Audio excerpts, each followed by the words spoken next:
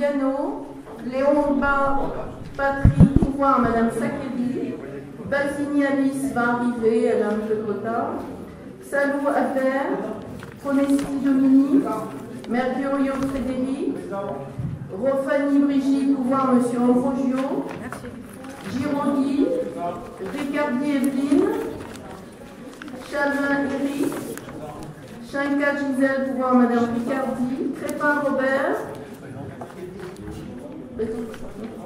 Mirandon Gilbert, pouvoir Monsieur Crépin, Crépin Charline, pouvoir à Monsieur Salou, Pesse Jean-Loup, Falco Jean-Noël. Présent. Merci. Nous allons désigner la secrétaire de séance. Je vous propose Madame Monicelli, sauf s'il y a des oppositions. Y a-t-il des oppositions? Non. Qui est contre Qui s'abstient Merci. Nous allons euh, procéder à l'ordre du jour. Approbation du procès verbal du conseil municipal du 29 juin. Est-ce que vous avez des remarques? Non? Si, si. Oui? Oui, juste une petite remarque, il y a une petite coquille, page 52, le premier paragraphe. Euh, je rebaptisais le projet euh, Nature en ville, ville en nature, et pas bilan nature, comme c'est écrit.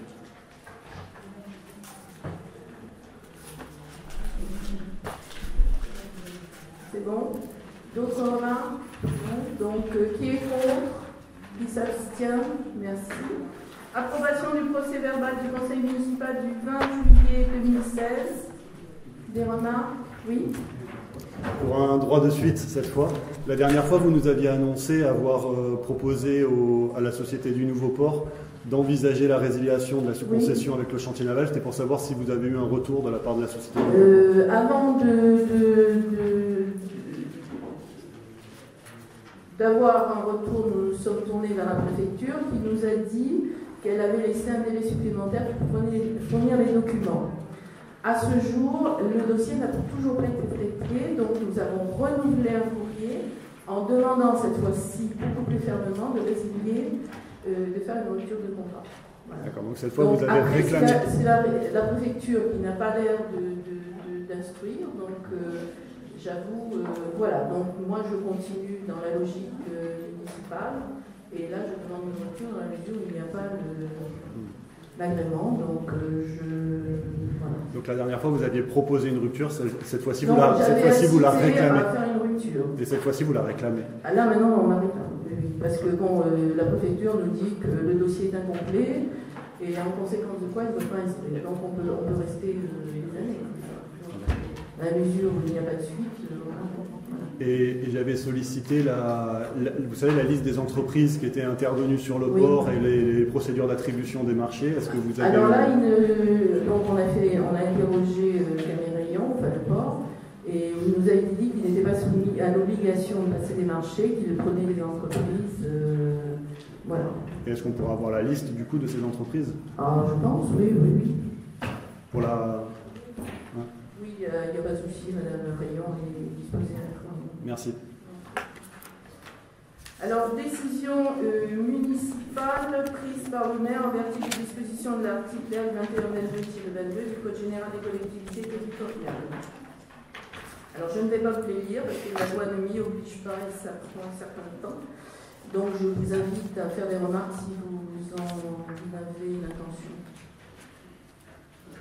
Oui Non? Oui Deux remarques. La première sur la décision 234 qui concerne la, pré- la préemption du, du fonds de commerce euh, La Pignate, Oui euh, avenue Clémenceau à, à Valoris pour 95 000 euros.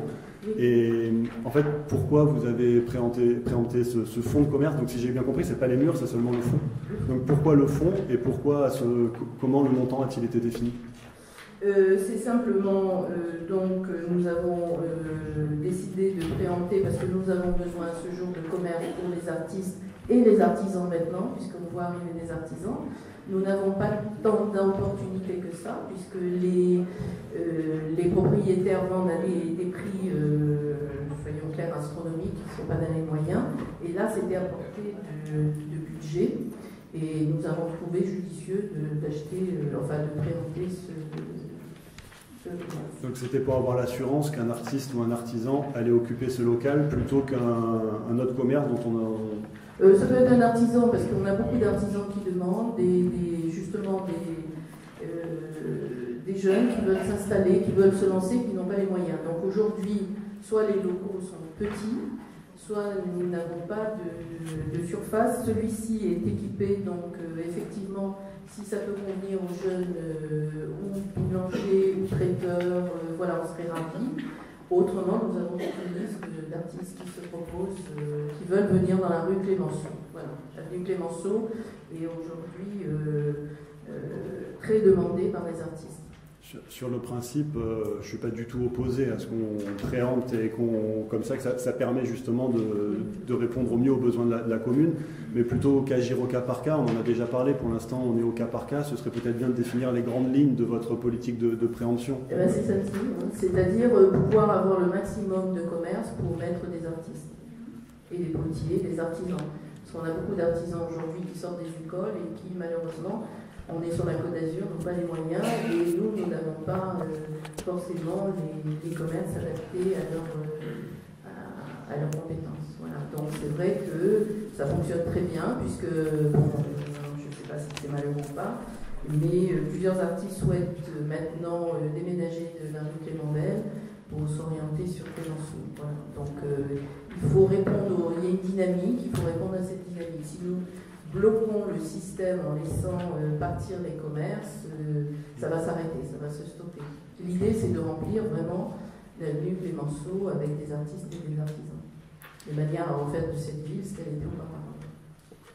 Je vous remercie. économique et voilà, le, le, second point que je voudrais aborder, c'est que j'ai été assez surpris de ne pas voir euh, dans les décisions, une des décisions que vous avez prises ces derniers temps, c'est la prolongation du, du, délai en fait pour l'entreposage des gravats du, Leclerc aux, Tuilières. Juste pour rappeler le, contexte, il devait retirer les gravats au 31 décembre 2015. On avait annoncé en conseil municipal un premier report euh, jusqu'à juin, puis septembre, octobre, et apparemment vous avez pris la décision jusqu'à jusqu'à décembre. Ils devaient nous verser 500 000 euros pour euh, pouvoir entreposer les gravats. Je crois qu'à ce jour, ils n'ont pas versé un euro. Et non, pas du tout. Pas du tout. Il nous reste à devoir 361 000 euros. Ils ont, depuis très longtemps, versé une première partie. D'accord. Donc ils doivent 361 000 euros. 361 000 euros. Aujourd'hui, nous sommes en médiation au tribunal de grande instance qui souhaite fortement euh, solutionner cette, euh, cette affaire dans la mesure où il y a euh, des entreprises qui risquent de faire faillite si nous stoppons net, voilà, avec des pertes d'emploi et tout ce qui va avec. Être payé, on va être payé, ça c'est clair. la somme est en réserve, elle est bloquée. Simplement, il y a un conflit majeur entre les trois entreprises qui effectivement bloque naturellement le système. Mais en ce qui concerne Leclerc, donc SCI Valure, euh, s'engage, bon, est engagé à signer, et là, euh, bon, la, personne qui chapeaute euh, un petit peu tout le système s'engage à ce qu'on soit payé condition longue et souhaitait même me faire un chèque, sauf que je n'ai pas de contrat avec cette personne, je ne peux pas accepter un, chèque d'une personne qui n'est pas inscrite dans le contrat. Voilà. Être payé, on va être payé. Notre difficulté aujourd'hui, c'est de faire qu'il n'y ait pas de faillite, voilà. Euh, le tribunal de grande instance, et particulièrement le procureur, nous a euh, demandé de venir au tribunal, ce que nous avons fait avec les services. On a trouvé, nous on est toujours sur nos positions, les gravats sont évacués, il n'y a pas de souci. Simplement, il faut donner un temps supplémentaire, parce qu'il y a eu plusieurs événements, les intempéries, mais pas que. Des événements parce qu'il y avait eu plainte de, probablement quelqu'un qui était euh, concurrent, sans doute. Il y a une guerre terrible j'ai découvert ça dans ce milieu, et ça a retardé considérablement l'évolution des travaux. Là, on ne peut pas dire que c'est la mauvaise volonté, parce que véritablement, et il a le marché, et il évacue. L'action TGI, c'est une action entre les trois. Pour le moment, oui. La médiation, c'est une médiation entre les trois entrepreneurs, en fait. C'est pas une action de la ville, c'est pas la ville qui a enclenché une action. Non, parce que nous, on allait enclencher, pour tout dire, parce que bon, j'ai une patience qui est quand même relativement limitée, même que bien loin, euh, il se trouve que euh, nous allions engager la procédure. Et le procureur nous a demandé d'essayer de passer par médiation pour ne pas. Bien évident que le TJ est largement chargé en dossier d'autres dossiers plus, graves que les nôtres et il aurait aimé qu'on trouve une solution. Nous, on est disposé à toutes les solutions. Effectivement, on va être payé. Sauf que, euh, bon, il faut que ça se termine un jour. Alors, euh, ils sont d'accord pour le délai, ils nous, ont validé nos décisions, et pour autant, euh, on aimerait bien que ça se termine, d'autant qu'arrive un projet de grande qualité derrière, qu'on ne peut pas enclencher tant que, voilà, même si ce projet veut garder une partie des terres. Donc, c'est US, mais c'est comme ça. Sur le, encore, deux points sur les tuyères. Le, on, apprend dans la décision du budget, là, dont on parlera un peu plus tard, qu'on a dépensé 505 000 euros pour consolider le vallon de la Valmasque, justement au niveau des tuyères à côté des gravats. Non, c'est pas, c'est un peu plus loin, ça n'a rien à voir. C'est vraiment un ravidement de la, du, bas de la butte qui a fait que les rochers se sont affaissés et que ben, voilà, la DTTM nous, demande de, de, consolider rapidement. D'accord, c'est pas, pas au niveau des gravats. C'est ah pas... non, non, non. D'accord. C'est, ça, ça pas... En commission, j'avais posé la question et vous m'avez dit oui. D'accord. C'est le, le vallon de, la Valmasse en lui-même, c'est-à-dire que le lit de la rivière, sur lequel il y avait des enrochements qui ont été faits dans les années 90, qui ont subi des dégâts lors des pluies du 3 octobre 2015. Et les enrochements sont déstabilisés, certains sont au milieu de la rivière, et il faut les reprendre. Nous avons mandaté un bureau d'études spécialisé nous avons fait un dossier à la demande de la DDTM. Le dossier est en étude, très favorable pour l'instant. On attend les dernières réponses qui ont été données, puisqu'on nous a redemandé une liste de questions, et notamment, je, déflorer la question de, de, faire les travaux en dehors de la période de, de frayère des batraciens, etc., etc. Donc on se plie aux règles de l'environnement. Ces dernières questions sont en train d'être répondues auprès de la qui nous donnera l'accord les travaux vont commencer très rapidement car on voudrait les faire avant les fortes pluies de, l'hiver et pas avoir des risques graves d'inondation. Et ça n'a rien à voir avec la partie haute des filières et le stockage de terre. Ce sont trois endroits dans rivière. J'ai, si vous voulez, les cartes et les photos à votre disposition. Si vous voulez prendre plus connaissance, le dossier de l'ETM est là. Ça n'a rien à voir avec les gravats, ce sont les pluies et les enrochements qui ont été faits pendant les, années 90, qui ont été déstabilisés et qu'il nous faut impérativement reprendre. Donc j'ai le dossier à votre disposition. Il y a eu deux grosses réunions avec la DTTF qui a accompagné ce projet, parce que ça, vous voyez, c'est énorme. Et bien évidemment, si les gravats étaient responsables, vous pensez bien que la DTTF ne nous aurait pas tout à fait simplement parce que c'est ça, et c'est normal. Hein. Et je crois que vous avez engagé une discussion avec la DDTM sur la question des gravats, justement. Euh, c'est-à-dire? Je ne sais pas s'il n'y a, a, pas une, une, discussion entre la DDTM et la ville sur le fait que les gravats ne respectent pas forcément le. Ah non, non, il n'y a pas de souci de ce ah côté-là. Non, non, non. la DDTM nous demande euh, de faire débarrasser et ils sont partie prenante puisque c'est quand même. Le DGI qui demande une médiation, de laisser du temps à, l'entreprise pour qu'il n'y ait pas de faillite. Voilà, on ne veut pas couper de tête, hein, on s'adapte. Euh, dans la mesure où on est payé ou derrière il y a un projet qui arrive, euh, voilà, c'est pas. La DDTM contrôle les opérations dans les sur le terrain, il nous et on fait une visite de contrôle avec. Voilà, non, non, c'est une surveillance constante. Et, les deux dernières questions que, j'avais sur, sur les tuilières, c'est euh, savoir si on pourrait déjà avoir copie de la convention qui prolonge le délai euh, justement de, la première. Et, et, ensuite, la deuxième question, c'est est-ce que vous pensez que tous les gravats seront enlevés euh, au mois de décembre ou pas? Et sinon, est-ce que vous allez engager une action ferme contre le clair Monsieur Falcou, je vais vous parler franchement, si on engage une procédure contre la société, elle arrête, elle fait faillite. Ça veut dire que les gravats, on les a pendant encore des mois.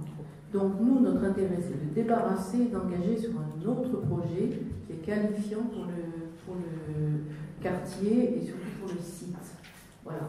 Donc c'est vrai qu'aujourd'hui, tous les partenaires sont d'accord avec nous pour dire l'intérêt de tout le monde, c'est que cette entreprise ne dépose pas le bilan, dans la mesure où tous les retards répétés lui ont fait perdre des marchés. Il y a quand même beaucoup d'emplois à la clé.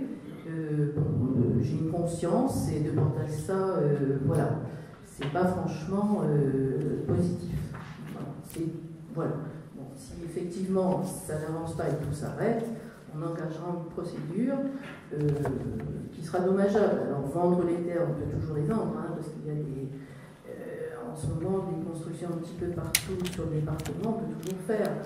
Donc si on peut continuer et terminer proprement ce chantier, je pense que c'est bien aussi. D'autant que si la DTM l'accepte, le projet qui arrive souhaiterait garder les terres. Voilà, c'est paradoxal, mais c'est comme ça. À mon avis, la DTM n'acceptera pas il n'y a pas de raison, puisqu'on nous a demandé d'en mettre le terrain identique, sauf que c'est un projet extrêmement qualifiant pour le site. Un projet de sport, ce qui était euh, son, son classement initial, donc ça serait très très bien pour la commune et surtout pour les enfants, euh, parce qu'il y aurait des activités très différentes de ce qu'on a l'habitude de voir. Je peux me permettre aussi, Madame le maire, au moment maximal de stockage des terres, il y avait environ 170 000 m3 de terre stockée une fois qu'on a terminé les excavations du Leclerc. Aujourd'hui, on est à 40 000 m3, donc on a déjà enlevé 130 000 m3. On enlève un rythme de 10 000, de 10 000 à 2 000 m3 par mois. Et donc, au mois de décembre, il restera de l'ordre de 20 000 m3. Et on devrait pouvoir y arriver assez rapidement si on est hors intempéries et hors problème autre que et on est sur un rythme soutenu.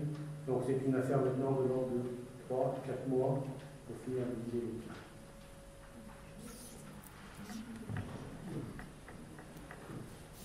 euh, donc, point numéro, euh, il n'y a plus de questions Point numéro 4, admission nos valeurs, budget principal, exercice 2016, Monsieur Bertrand. Madame le maire, mesdames et messieurs les élus, mesdames et messieurs, alors, admission en non-valeur. Les services de la trésorerie proposent d'admettre en non-valeur des créances pour lesquelles le recouvrement est demeuré infructueux malgré les diligences réglementaires, notamment en raison de l'impossibilité de retrouver les débiteurs ou d'un montant inférieur aux sommes de poursuite. À l'issue du travail de recherche mené entre les services de la trésorerie et ceux de la ville, le total des créances irrecouvrables s'élève pour le budget principal à 15 868,89 euros. L'admission en valeur correspond seulement à un apurement comptable, l'action en recouvrement demeurant théoriquement possible. Les crédits nécessaires étant inscrits au compte correspondant du budget principal pour l'exercice en cours, il est proposé d'admettre en non-valeur l'ensemble des créances irrécouvrables listées dans le tableau récapitulatif annexé établi à partir des états transmis par la trésorerie. Le conseil municipal, vu l'exposé relatif à l'admission en valeur de certaines créances pour 2016 du tableau afférent, vu l'article L2541-12 du Code général des collectivités territoriales, vu les crédits prévus du budget principal sur le compte 6541, créances admissibles en non-valeur, vu l'avis de la commission des finances qui s'est réunie le 2 novembre 2016, après en avoir délibéré, décide l'admission en non-valeur des sommes restant à recouvrer pour chacun des titres présentés dans le tableau annexé, soit un montant total de 15 868,89 euros, dit que la charge correspondante sera constatée à l'article 6541, fonction 01 du budget principal. Voilà, donc ce tableau, vous l'avez eu un petit peu après, mais vous l'avez eu. Euh, c'est comme chaque année, hein, on admet en non-valeur un certain nombre de titres qui n'ont pas pu être recouvrés. Je vous le rappelle ce travail est fait euh, sur proposition de la trésorerie après étude commune entre les services de la ville et de la trésorerie pour rechercher les personnes euh, qui n'ont pas d'adresse. Voilà. Oui, ce tableau, comme vous parlez, est annexé à la délibération. Effectivement, vous nous avez communiqué en séance finance, on n'a pas le temps trop de regarder dessus, et je m'aperçois de, je me questionne tout du moins sur un titre, la participation phase. Est-ce qu'on peut avoir une explication de quoi s'agit-il? Parce que bon, terrasse, un pays, on comprend, mais participation phase, ça reste dans le flou. Il y a quand même pour 1600 euros. Alors attendez, on va essayer d'avoir. Voilà, et on rappelle quand même que les années précédentes, on avait le, bénéfice d'avoir un tableau où figurait le nom du débiteur. C'est plus le cas maintenant ça nous a été largement reproché. Oui, mais bon. On ne peut pas jeter en pâture. C'est un moyen pour nous de vous dire, ah, mais ces gens-là, on les connaît, on peut essayer de voir. J'entends bien que c'est un moyen pour vous. Sauf qu'à l'heure actuelle, comme il C'est un moyen pour la commune. Oui, euh, ben, la commune est au courant. Sauf que maintenant, comme il n'y a plus du tout de cadre de morale, tout est diffusé sur les réseaux. On ne peut pas, on ne peut pas prendre la responsabilité de jeter en pâture des dons. C'est pas Bon, possible. si on peut avoir une explication sur vos participations. Tout à fait, oui. Écoutez, on va rechercher ça parce que 2000 2011, euh, Monsieur Giraud, euh, Ben oui, mais. euh, vous étiez à l'époque euh, Oui, à ma place, donc là je ne peux pas vous le dire. On va chercher. Je crois que j'y étais, hein. Euh, vous étiez là 79, si vous voulez. Ça vous pose un problème Non, pas du tout, mais enfin, à chaque fois, vous me ramenez que j'y étais. Quel est le Et alors Eh oui, vous étiez Et Vous étiez. durée Et vous y étiez, on va Et en alors parler, on va en parler toute la soirée, Ne vous énervez pas, monsieur Oui, mais j'étais à votre place, étiez à la mienne. Et voilà. Et voilà. Donc en 2011, vous y étiez.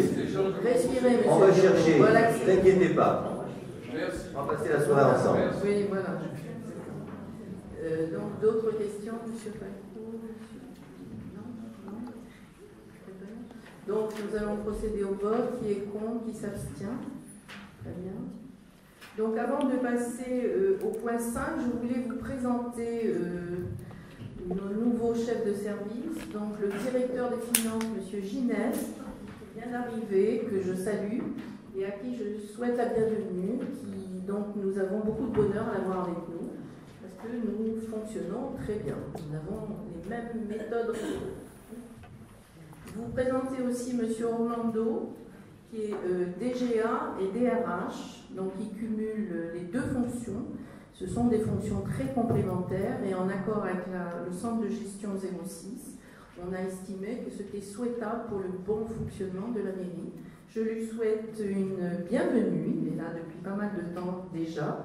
Il avait pris sur ses vacances pour venir un petit peu se familiariser avec le fonctionnement de la mairie. Et je dois dire qu'on a l'impression qu'il est là depuis très longtemps. Euh, voilà, bienvenue. Nous allons passer au point 5, décision modificative numéro 1 du budget principal, exercice 2016. Monsieur Bertrand.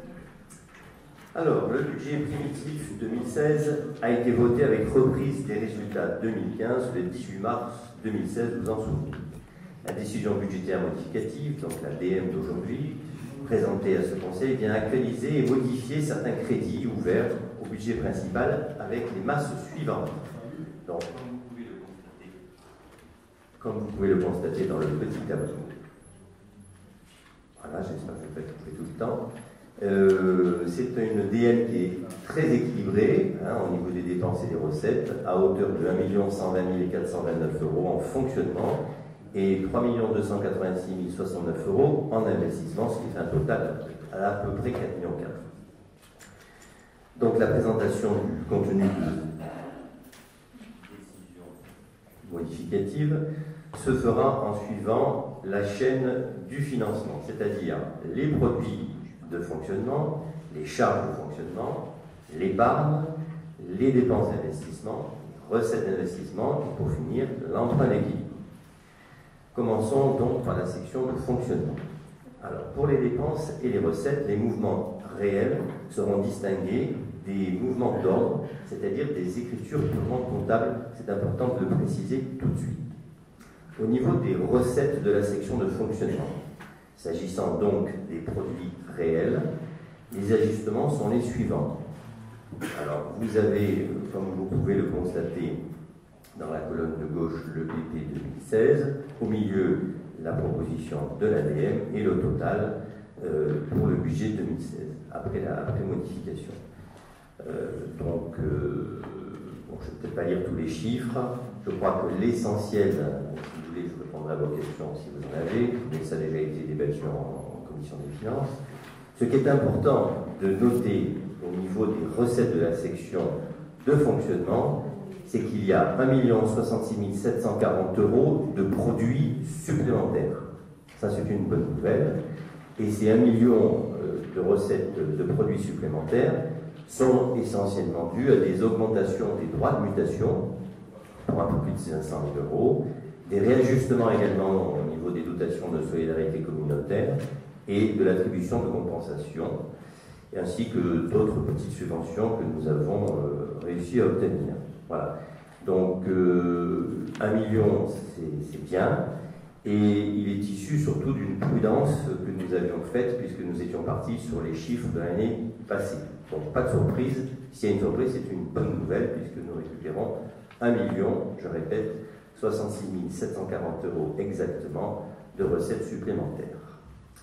Au niveau, euh, donc au niveau des pourcentages, ça fait à peu près 2,6% des produits réels euh, par rapport au prévu du budget primitif. Voilà, et ça nous fait arriver à 42,4 millions. Euh, on va peut-être passer maintenant aux dépenses de la section de fonctionnement. Alors là aussi, s'agissant des charges réelles, les ajustements, vous les avez sous les yeux, pareil, le BP dans la colonne de gauche, la proposition de l'ADN, et le total pour le budget 2016 après modification. Voilà. Donc, euh, je crois que le principal fait qui est à retenir dans les charges réelles de fonctionnement, c'est la baisse des charges financières. Et vous savez, c'est essentiellement dû à la renégociation de l'emprunt euro-franc suisse. Je vous rappelle que sans cette renégociation, les intérêts que nous avions calculés se seraient, se montés à 857 000 euros.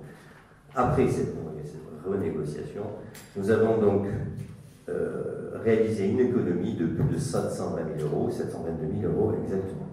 Je voudrais rappeler quand même euh, que cette renégociation elle a été difficile. Elle a été menée par Madame le maire à Paris et euh, j'ai été effectivement son seul témoin.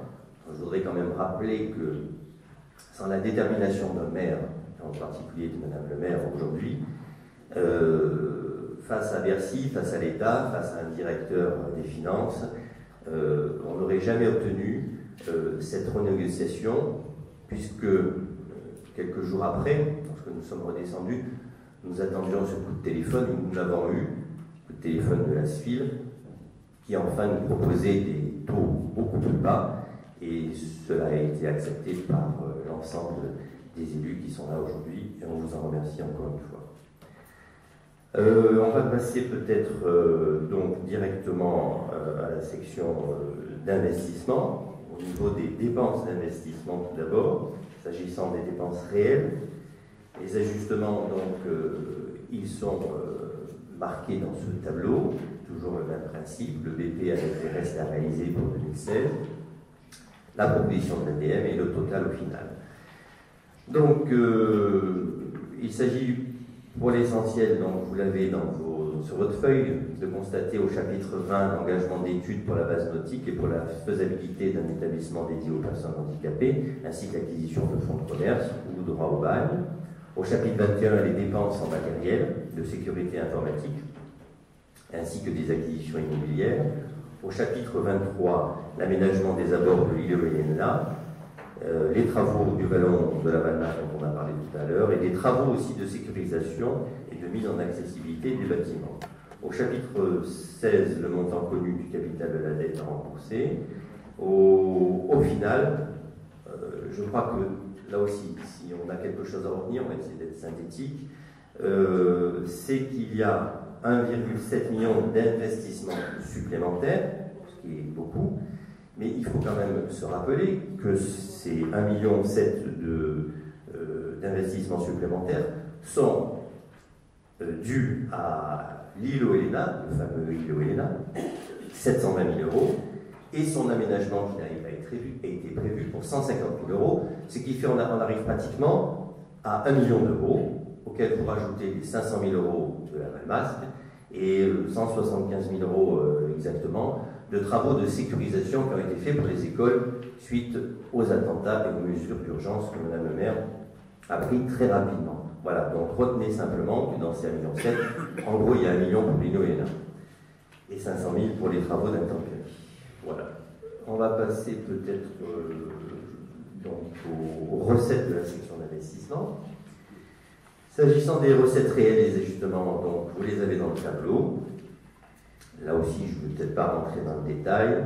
Il y a une ligne qui me semble importante, c'est le chapitre 16, avec les emprunts et les dettes assimilées, où, euh, si vous avez bien suivi, vous vous rendez compte que nous allons diminuer notre emprunt de 2,8 millions. Alors, comment on arrive à diminuer l'emprunt de 2,8 millions ben, Tout simplement, c'est parce que nous avons fait euh, un autofinancement, nous avons réussi à dégager un autofinancement euh, de 2,6 millions il y a des recettes d'investissement plus importante d'un million neuf, et il y a des dépenses d'investissement, malgré tout importantes, d'un million sept. Ça fait au, final un bilan positif de 2 millions Et euh, c'est avec ce 2 millions que nous allons diminuer notre emploi. Voilà. Euh, en synthèse, l'équilibre général et le vote. Là aussi, vous avez le tableau. Euh, je ne vais pas vous le décortiquer, hein. euh, toujours la même chose, je ne vais pas le lire. Je pense que je vais directement aller à la synthèse. je pense que la synthèse, bah, elle est facile à faire. Cette DM se caractérise par une diminution significative des charges, 3,8%, ce qui fait 1,5 million. Une progression aussi significative des recettes, puisque nous avons plus de 2,6%, 1 million, je vous l'ai dit tout à l'heure. Ces deux caractéristiques font que nous avons réussi à dégager un autofinancement de 2,6 millions. Et avec cet autofinancement, on va baisser l'emprunt d'équilibre, puisqu'il passe de 7 millions à 4 millions 2, ce qui fait 2 millions 8 de baisse, malgré, je vous le rappelle, une augmentation des crédits d'équipement de 1 million 7. Voilà, je peux passer directement à la conclusion. Au vu des explications, le Conseil est invité à voter la décision budgétaire modificative numéro 1 du budget principal pour 2016, détaillée dans le document budgétaire joint par chapitre et sans vote formel sur chacun des chapitres. Le Conseil municipal, vu la note de synthèse relative à la décision budgétaire modificative numéro 1 du budget principal pour 2016, vu le Code général des collectivités territoriales et notamment ses articles L2311-1, L2312-2 et L2311-7, vu l'inspection budgétaire et comptable M14, vu l'avis de la commission des finances qui s'est réunie le 2 novembre 2016, après en avoir délibéré, approuve la décision budgétaire modificative numéro 1 de l'exercice 2016 du budget principal arrêté en dépenses et en recettes à la somme de 4 406 498 euros, dit que cette décision budgétaire est votée par chapitre conformément à la nomenclature comptable M14. Voilà, Madame le maire, je m'ai terminé. Merci. Qui souhaite intervenir?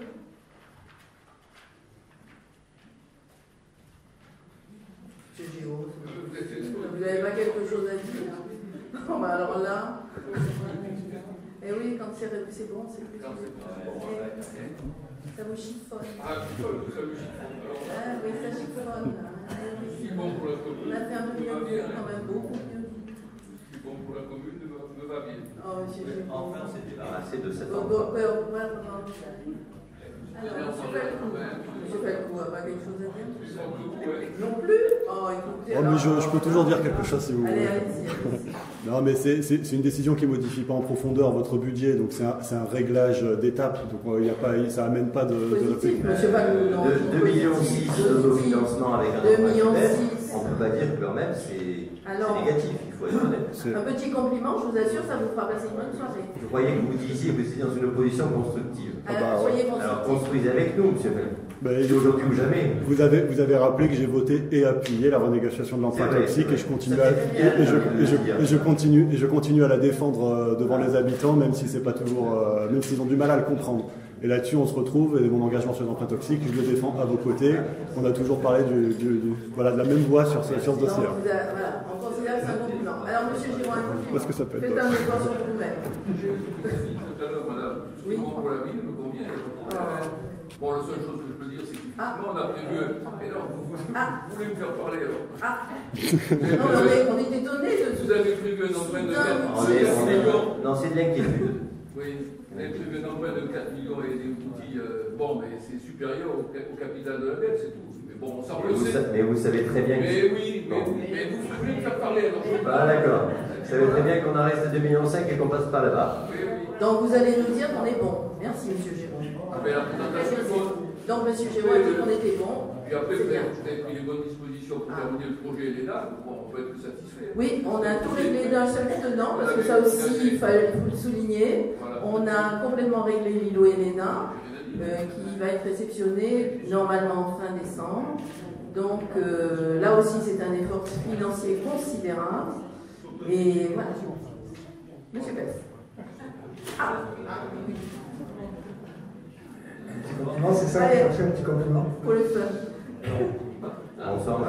J'en ai un, alors comme je. Un petit compliment, je ne peux pas m'en souvenir, je l'ai écrit. Euh, néanmoins, effectivement, le, recours, le recours à l'emprunt à hauteur de 4 millions d'euros reste quand même important, même si on en connaît les réseaux. Et, surtout, l'encours de la dette de 700, de 74 millions d'euros, qui représente 104% des, des recettes, le réel de fonctionnement, est, largement supérieur aux, communes de la même qui est plutôt de l'ordre de 77%. Mais euh, nous en connaissons tous les raisons et je pensais à notre ami Tigéro, nous en porterons encore durant de très nombreuses années les estimants de l'héritage julienne qu'on désignait déjà à l'époque comme le fossoyeur de notre commune.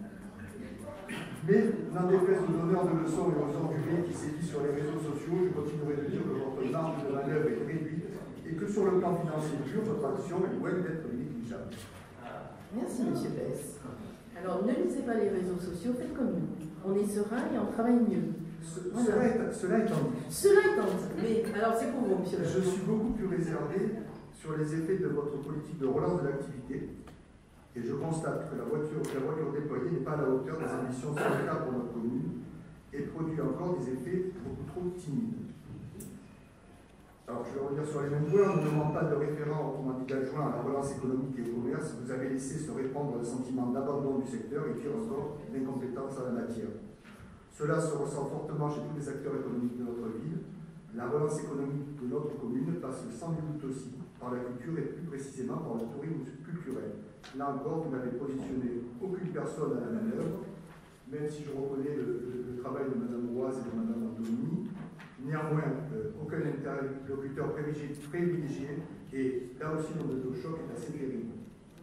Deux secteurs majeurs pour la relance économique que vous avez délaissés au lieu de tous. Cela crée de la polémique, là, bien au contraire, ça devrait créer de l'espoir. L'animation, et malgré les efforts déployés par toute l'équipe, reste fébrile, essentiellement par manque de moyens financiers, ce qui limite très gravement l'attractivité de notre commune, à la fois pour les intramuraux que pour les visiteurs extérieurs dont nous avons finalement tant besoin. On n'est pas dans la même commune, monsieur Bess, visiblement, parce que les chiffres que j'ai là, tant les chiffres d'affaires que les chiffres des visiteurs euh, sont en hausse euh, considérable. Et puis, et puis, euh, on être dans la même ville quand même. Moi, hier soir, j'avais tous les commerces, c'est pas ce que j'ai entendu. Alors, alors c'est vrai, c'est ah, vrai, ah, c'est pas ce que ah, vous avez entendu. Mais on ne vous dit pas tout. Ah, on ne dit pas tout. C'est ça. Mais vous, on vous dit. Et moi, on ne me dit pas. Et, quand ils me disent leur chiffre d'affaires, c'est des mensonges. vous savez Quand ils augmentent de 30% de chiffre, c'est des mensonges. Et puis alors, plus sérieusement, il y a la, crise profonde que traverse vos services, et notamment le CTN. Mais pas seulement. Monsieur Salmon. Et je ne redirai pas la responsabilité énorme de votre adjoint en charge de lui-même au sein de vos services, Monsieur Salmon. Et je salue l'arrivée de Monsieur Orlando, euh, lui dire que finalement nous, avons beaucoup d'espoir, euh, nous mettons beaucoup d'espoir en lui que la tâche être difficile, mais je pense que c'est un homme de métier et puis, pour une fois, on, a mis euh, ses enjeux à la hauteur de lui-même. Alors, je, passerai sur les mouvements personnels, les brimades, les injustices qui font légion, non seulement pour les personnels municipaux, mais aussi pour l'ambiance générale qui, qui règne au sein des services municipaux. Les services sont touchés par cette gestion très aléatoire de leurs ressources humaines, jusque chez nos fonctionnaires de police, ce ne sont pas les quelques véhicules neufs de police municipale comme l'arbre cacheront la forêt. Bon, j'arrête là parce que je demande. Oui, je pense qu'on a la même lecture des services. Mais ce que je, en fait, ce que je vous demande, c'est une véritable prise de conscience, c'est d'accepter de ne pas être spécialiste en tout, d'identifier les points perfectibles et de préparer un budget 2017 basé sur les compétences, la relance économique, la culture et le bien-vivre, avec les valeurs républicaines qui nous animent pour certains ici dans cette Assemblée, mais ce que je souhaiterais, très sincèrement, c'est que ce soit euh, dans une véritable laïcité. Je vous entends souvent ce, ce, mot, mais aujourd'hui on entend, on entend beaucoup parler de laïcité, c'est souvent, une laïcité à géométrie variable. il faut juste, aujourd'hui, si on prononce le mot laïcité, euh, être vraiment dans la laïcité, et pas la géométrie variable. Et ça, ça c'est profondément blessant. C'est-à-dire c'est-à-dire, je ne vais pas revenir sur des sujets que vous avez lus dans la presse, qui ont heurté beaucoup de monde. Alors moi, ah, les gens sont très choqués. J'ai quand, même, quand même évidemment assisté à cette cérémonie du souvenir français, comme j'assiste à, à pratiquement toutes les cérémonies patriotiques, parce que j'ai beaucoup de profond respect pour euh, le souvenir français, pour tous les gens qui, font, finalement euh, euh, nous, nous, gardent la mémoire. Je trouve que c'est important, surtout pour nos jeunes. Donc évidemment, j'ai pas fait d'escandre là-dessus, mais c'est vrai que nous avons été aussi choqués. Alors aujourd'hui, monsieur, votre adjoint, M. Molesti, nous dit c'est une erreur de service. J'en suis pas sûr quand j'entends aussi les discours qui sont faits par les uns et par les autres, notamment chez LR et chez tout le monde, sur, sur la laïcité. Je crois qu'ils n'ont pas bien compris ce que c'était la laïcité. Et je crois qu'il ne faut pas tomber dans ce jeu et il faut vraiment Alors, je tombe dans jeu, laïcité. Et quand je dis laïcité, c'est par exemple quand dans la laïcité, on met par exemple, on parle du porc dans les cantines, au-dessus de la laïcité. Peut-être que là aussi, euh, euh, quand dans, un esprit laïcité, on ne promeut pas les, les fêtes, les fêtes religieuses, on se fait peut-être pas garder des places à l'église. Enfin, il y a quand même des tas de choses qui rentrent dans la, dans la laïcité et on n'a pas une grande idée ici, je pense, de ce qui est réellement la laïcité. Euh, moi, je respecte les us et coutumes, je respecte la tradition, je respecte les anciens combattants.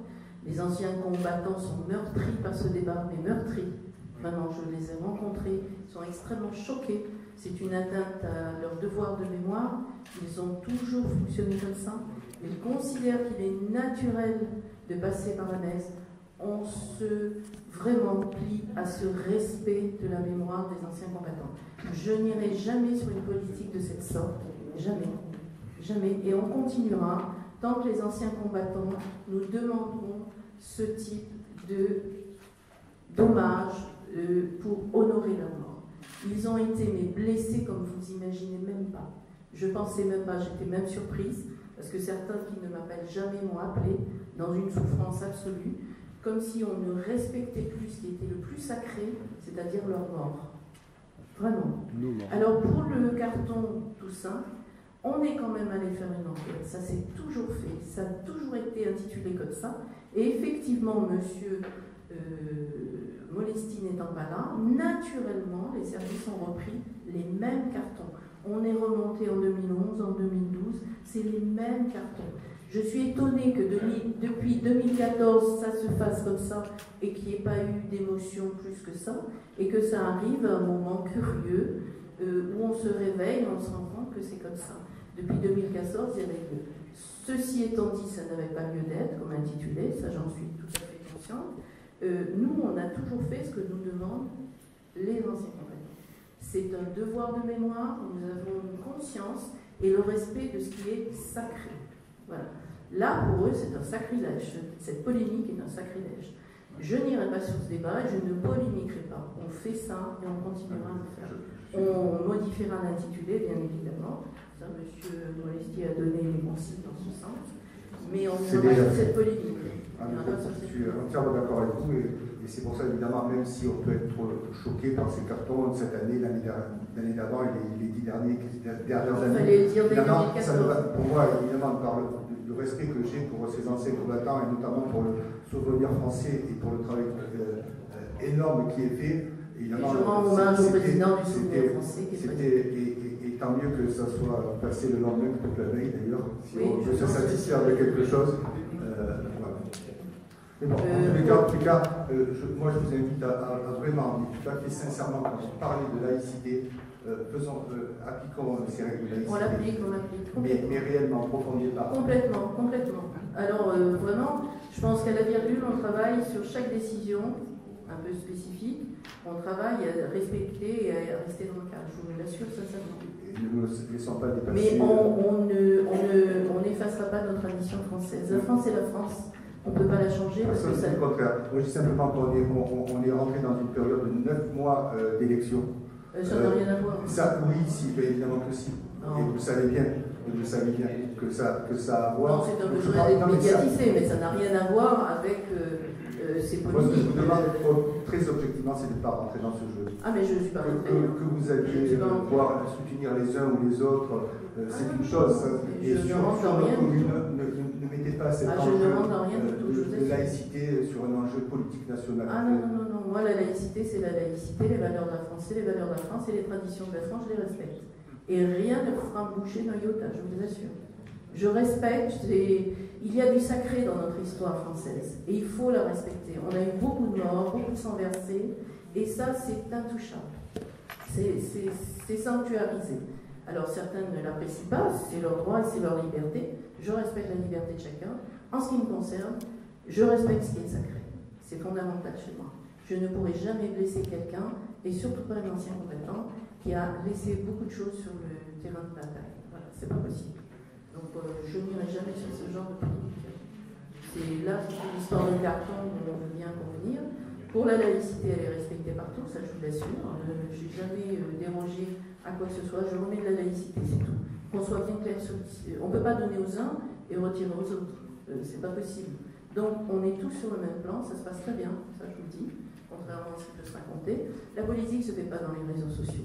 Parce qu'on se rend bien compte qu'il n'y a pas de morale, il n'y a pas de règles, il n'y a pas de conscience. Donc moi, la, politique a une morale, a une conscience et a des règles. Et je m'y tiens. C'est pour ça que je ne vais pas euh, débattre avec, sur des sujets comme ceux-ci. Voilà. Pour les autres proches, euh, on est très forte à trois, je vous assure. On est trois sur la culture. Moi, j'ai la capacité d'ouvrir les portes. Je le fais pour mes deux collègues et ça se fonctionne très très bien. Elle gagne un temps considérable et l'économie se porte de mieux en mieux, je vous le dis. Je vous le dis, je vous emmènerai un jour euh, vous balader et écouter ce que les, ce que les commerces. Non, non, peut-être qu'à vous, ils vous disent, parce que vous êtes dans l'opposition, donc le mieux, quand on voit un opposant, c'est de. C'est le mieux parce qu'on est sûr que comme ça, ça fonctionnera. Moi, je leur demande la réalité, la vérité. Je leur dis, si ça ne fonctionne pas, vous me dites pourquoi, où, quand, comment, qu'est-ce qu'on peut faire. Voilà. On fait, on modifie, on rectifie. Moi, j'ai pas de souci avec ça. Hein suis pas ni psychorigide, ni euh, euh, j'ai la vérité absolue.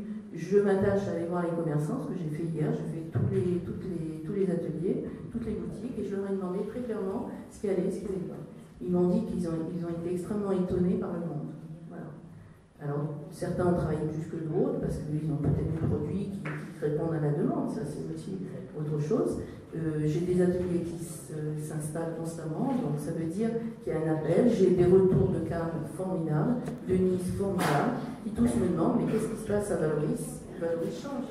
Euh, il faut regarder autrement que euh, simplement les gens qui critiquent, qui critiquent. C'est pas positif la critique. Il faut regarder la somme énorme de ceux qui sont contents. Non, non. Hier, j'ai tourné aussi dans toutes les galeries avec toujours le même message, comme j'ai eu ce même message sur la, la, de la ville pour les premiers jeudis du mois. Aujourd'hui, aujourd'hui j'ai le même message et je leur demande à tous de jouer le jeu et d'arriver à l'été, qu'on arrive cet été à faire euh, tous les jeudis c'est-à-dire le jeudi à Valoris et Galeries, vraiment euh, quelque chose qui soit labellisé, avec, euh, parce que les, codes aussi des commerces ont changé, il y a beaucoup de choses qui ont changé, donc la pétalisation, ce n'est pas uniquement la pétalisation, c'est aujourd'hui il, y, a un véritable besoin de pouvoir déambuler. Je crois qu'on peut arriver à faire quelque chose. Donc, croyez bien qu'hier soir, sur toute ma soirée, euh, je, pouvais aussi faire autre chose, mais je voulais être positif. Et néanmoins, j'ai eu des retours. Néanmoins, j'ai eu des retours. Et, et, et, ces retours, je les ai exprimés là assez rapidement parce que finalement, on pourrait, on pourrait développer et, je sais que ça va faire tard et, tout le monde ne tiendra peut-être pas. Allô tout le monde ne tiendra peut-être pas, je disais M. Salmon. Euh, mais, non, c'est pour ça que je vais, la faire courte, parce que je ne veux pas non plus. Mais, très clairement, non, non, le message que, que, que déploie est très positif, mais finalement, les retours, puisque je, comme je suis assez positif, finalement, les retours sont assez honnêtes, et il y a quand même, il y a quand même euh, euh, des, des, freins, et je pense qu'il faut, faut vraiment les Non, il, y a des, il, faut, il faut sortir, vraiment, sincèrement, il faut sortir de l'assistanat. On ne peut pas, j'en ai discuté avec chaque boutique, chaque atelier, chaque commerçant, chaque artiste. Voilà. Amenez-nous du monde. C'est complètement irréaliste. Nous, on amène du monde par l'attractivité générale de la ville. C'est ce qui se passe. C'est pour ça qu'il y a eu du monde encore au mois d'octobre, parce qu'il y a une attractivité. J'ai rencontré énormément de gens de Cannes, des gens d'Antibes, des gens de Nice, des gens de Biot, qui venaient et qui étaient heureux en disant Valérie, ça a changé. Voilà. Moi, je travaille avec mes collègues, pas que culture, euh, animation, mais aussi les autres, parce que les travaux, l'environnement, les jardins, ça fait partie de l'attractivité. On travaille sur tous les domaines, vraiment. Et je les accompagne autant faire se peut. Chaque fois qu'il faut que j'ouvre une porte ou que je dénoue un, problème ou, un, véritablement que je, je sers de levier, je suis à leur côté. C'est pour ça qu'on est forte à trois. On travaille à trois. Et systématiquement, suivant les gens qui arrivent dans la commune, elles ont leur secteur et ça fonctionne très bien. Euh, je ne suis pas sûre qu'une seule personne pourrait faire autant que ce que nous faisons à trois. Elles sont vraiment à la manœuvre tout le temps. Tout le temps. Donc, euh, on a ce vieux modèle, il faut... Je ne suis pas contre hein, d'avoir une adjointe à la culture. Quand tout ira bien, quand la terme, hein, machine, Non, quand c'est la machine... C'est pour ça que j'ai Oui, envoyé le terme. mais euh, je vous assure que tous les artistes savent là où il faut aller taper. hein, euh, ils savent, ils connaissent, hein, ils savent euh, qui appeler. Quand c'est l'animation événementielle, c'est Madame Monicelli. Quand c'est la culture, c'est Madame Roise, c'est Madame Antonini. Quand je dois valider un gros projet où là, vraiment, il va y avoir un accompagnement, elles viennent me voir avec la personne et on débloque et on ouvre et on, crédite et on budgète, etc. Euh, on travaille, on a une habitude de travail de groupe. Je vous assure que c'est très positif, très très positif. Et après, il y a tous les services qui sont absolument remarquables. Alors, j'en profite pour donner une grande explication concernant l'occupation de la buvette de Minotaur, parce que je ne lis pas les Vous réseaux. disiez, vous disiez les Oui. réseaux sociaux. ça- ça Non, je ne les lis pas. Je ne les lis pas, sauf que ça a impacté mon service culturel qui n'a pas l'habitude justement de les lire, mais on, on s'est débrouillé pour leur passer quelques, quelques euh, pages euh, tellement de, de- de- de factures basses que c'était absolument. Ça les a choqués. Voilà, ils ne sont pas Oui, habitués. je. Alors, je dois vous dire que la buvette, à tour de rôle, est confiée depuis toujours, puisque j'ai là le retour de 2012, est confiée régulièrement à toutes sortes d'associations. Donc, on voit la Lire d'Argile, on voit AEOMVG, le comité d'Arnega, le comité Saint-Sauveur, le comité Saint-Sauveur, les amis de Valoris Golfe-Juan et aussi Vivalgo euh, dans certaines euh, circonstances. En ce qui concerne le strict, effectivement, Vivalgo a eu la buvette à la demande, à la demande, il faut le savoir, du service culturel. Pourquoi? Parce qu'il n'y avait pas d'animation dans le hall. Donc le service culturel a fait appel à Vivalgo une journée. Le lendemain, c'était une autre association qui est venue. Parce que dans le cadre d'une grosse manifestation, il est important euh, d'animer avec une buvette et de servir, voilà. La mairie ne peut pas s'en charger. On ne peut pas travailler sur euh, du commerce de ce style. Euh, il est évident que chaque association prend un risque énorme parce qu'elle doit acheter son stock. Et si ça ne se vend pas, ben, elle reste avec le stock. euh, voilà. Donc c'est vraiment une polémique euh, très bas de gamme, très bas de gamme, qui a choqué le service culturel comme s'il faisait une fleur. C'est simplement un service qu'il a demandé. La plupart, il faut le savoir, des associations ne souhaitent pas tenir la buvette parce qu'elles ne veulent pas prendre un risque financier. Voilà, c'est aussi simple que ça. je- moi, je ne trouvais pas nécessaire euh, de l'expliquer de cette vitesse ce parce que dire, monsieur, parce parce que que- quand c'est tellement. Euh. Mais, mais, niveau, mais- mais euh, entre, entre ces sites orduriers, euh, ces sites qui, qui orduriers, euh, et, et- et on, connaît, on, on le connaît bien, et, et- les quelques élus, et, et pour quelques-uns qui sont présents dans cette salle, ou qui ne sont pas aujourd'hui, mais qui se permettent de leur envoyer des photos pendant des événements importants, euh, voire religieux, euh, pour salir, enfin moi ces sites orduriers, euh, j'ai rien à leur dire. Néanmoins, néanmoins sur cette buvette, pour la petite histoire, parce qu'elle est très, est très drôle, euh, trois jours avant, le service culturel m'appelle en me disant on est embêté, on a fait le street art et en fait on- on pas de on- personne pour tenir la buvette le, samedi soir. On est très embêté, on n'y avait pas pensé. Est-ce que tu crois que tu pourrais avoir des bénévoles? J'en sais rien, moi je travaille. Donc j'ai demandé à, des bénévoles qui font partie de mon association, dont, euh, notre président d'association qui, qui est venu nous aider, et qui nous ont dit, ben, écoutez, oui, on a répondu oui, on va aller la faire. En sachant que cette buvette, quand on a dit oui, elle, on l'ouvrait à 19h, on la fermait à 22h. Sur une pièce de théâtre qui n'a- qui- où il n'y avait pas un spectacle, où il n'y avait pas d'entracte, vous imaginez ce qu'on allait faire comme recette. C'est-à-dire à l'entrée pratiquement rien et à la sortie moins que rien. Euh, D'accord Donc ensuite, on nous a dit de venir un petit peu plus tôt parce qu'au moins vous essayerez de nous découler un petit peu du stock de ce que vous avez acheté.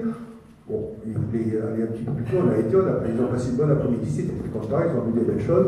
Mais alors, euh, allez venir nous chercher pour nous dire vous allez faire de la subvention déguisée, enfin entre les abrutis qui, qui écrivent ça et les abrutis qui le comportent, colportent et les abrutis qui le croient, franchement ça fait quand même beaucoup de monde. Alors moi ça m'a, à la limite ça m'a même fait rire, Ça me met Vous savez bien que ça n'est pas de la politique, c'est casser les gens qui Non, travaillent pour la c'est- commune. c'est- c'est C'est tout, finalement, hein, c'est- c'est toujours la même. C'est- Ce sont la même enquête. ordurières qui la- depuis oui, des c'est années. Moi, c'est pas tant, euh, c'est pas tant euh, l'ordurier qui, qui véhicule ces, ces méthodes qui me gênent, puisque celui-là, euh, euh, je veux dire, euh, je sais pas s'il vaut plus que la crotte sur sur laquelle on marche dessus. Néanmoins, moi, ce qui me gêne le plus, c'est que des gens, finalement, viennent s'accrocher à ça pour régler des comptes avec les uns et les C'est autres. pas des politiques. hein, Donc, je trouve ça juste en temps.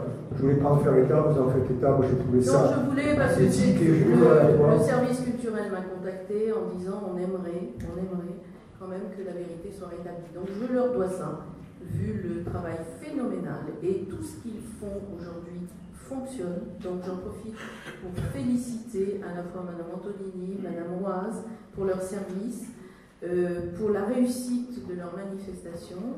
Et je remercie les associations qui répondent à la demande de- du service culturel.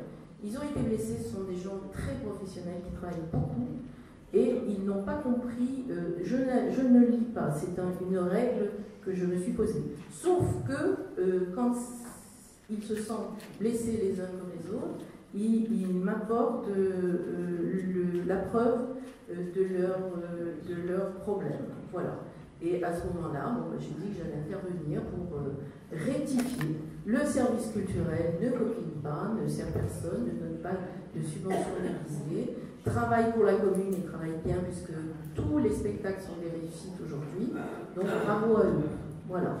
Et pour clôturer avec ce sujet, cette subvention déguisée, c'est 10 heures de présence pour 5 personnes, c'est-à-dire c'est 50 heures de travail, et globalement, on reversera 10% à la commune qui représentera une somme à peu près de 15 euros ou 16 euros. Vous dire l'ampleur de la subvention déguisée. Euh, droit Je vous remercie pour ces précisions. Donc nous allons passer au vote de la décision. Oui Oui, avant de, voter, je voudrais quand même euh, remercier euh, le directeur financier parce que la présentation a été pour moi très claire, très facile à, lire et j'espère que vous avez apprécié son, premier travail. Voilà. Merci, Monsieur Gilles. Donc, nous procédons au vote. Qui est contre? Qui s'abstient? Décision modificative. Alors, je je. Qui est contre? Qui s'abstient? Merci. Donc, point 6, Musée national La Guerre et la Paix, convention de gestion avec le ministère de la Culture et la réunion des musées nationaux. Par délibération du 10 octobre 1973, le conseil municipal avait décidé de céder à l'État la chapelle du château de Valoris, qui abrite, l'œuvre de Picasso, La guerre et la paix. Les peintures de Picasso exécutées pour l'ancienne chapelle du château de Valoris ont été données à l'État en 1956 pour y être installées. Devenu musée national, un conservateur fonctionnaire d'État assure depuis la responsabilité de cet espace. Cependant, compte tenu de son imbrication avec le musée municipal, des conventions entre les services de l'État et la commune ont depuis réglé les conditions de gestion et l'accueil du public. C'est ainsi que la convention annexée à la présente est proposée à l'approbation du conseil municipal pour une durée de trois ans. La responsabilité scientifique et culturelle reste de la compétence du directeur des musées nationaux du XXe siècle des Alpes-Maritimes. En qualité de propriétaire, le ministère est responsable du clos et du couvert pour la partie lui appartenant et met à la disposition de la ville le petit local abritant la librairie. En contrepartie, la ville assure l'entretien de la chapelle, les dépenses courantes et la surveillance des lieux et conserve le produit de l'ensemble de la billetterie. Il est demandé au conseil municipal d'adopter la convention annexée à la présente pour une durée de trois ans. Donc je pense que vous avez pris connaissance de la convention. Oui Non. Des questions? Non Qui est contre? Qui s'abstient? Merci. Point 6. Euh, non, point 7. Tarification municipale de musique et de danse. Madame Antonini. Madame le maire, mesdames et messieurs les élus, mesdames, messieurs, bonsoir. La ville de Valoris-Juan a mis en place une tarification attractive d'accès aux cours de loisirs culturels afin d'asseoir sa politique en faveur des enfants et de la jeunesse. Pour répondre à une demande croissante d'inscription aux cours individuels de piano, une modulation de tarifs pour les cours d'instruments de musique doit être ajoutée. Actuellement, deux tarifs principaux d'accès aux cours de musique pour les enfants sont prévus. Cours collectif, 8 élèves par cours minimum d'une heure à 30 euros par trimestre. Éveil musical, initiation piano. Cours individuel d'une demi-heure à 60 euros par trimestre. Il est proposé la création de nouveaux tarifs qui permettrait d'inscrire deux enfants sur un créneau de cours d'une demi-heure à 45 euros par trimestre. Il est demandé au conseil municipal de fixer la création d'un nouveau tarif qui permettrait d'inscrire deux enfants sur un créneau de cours d'une demi-heure à 45 euros par trimestre par enfant.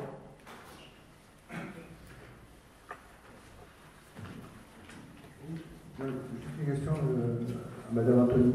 Euh, les deux enfants doivent être euh, issus d'une même famille ou ça peut être. Non, non, actuellement, il, il y a un cas, actuellement, ce n'est pas que de la même famille. Ça a été un peu pour résorber des listes d'attente. En fait, il y a énormément d'attentes pour des enfants pour euh, une première année de piano, en fait. Cela concerne des enfants plutôt euh, 7 ans, 8 ans. Et ce n'est pas la même famille pour l'instant. Ça sera peut-être dans un prochain temps, je ne sais pas. euh, ça, c'est une possibilité. Mais pour l'instant. D'autres questions? Non? Donc nous allons procéder au vote. Qui est contre? Qui s'abstient? Merci. Point 8, vente chemin rural suite à une enquête publique, ancien chemin du Canet numéro 534, Valoris, Monsieur Viano.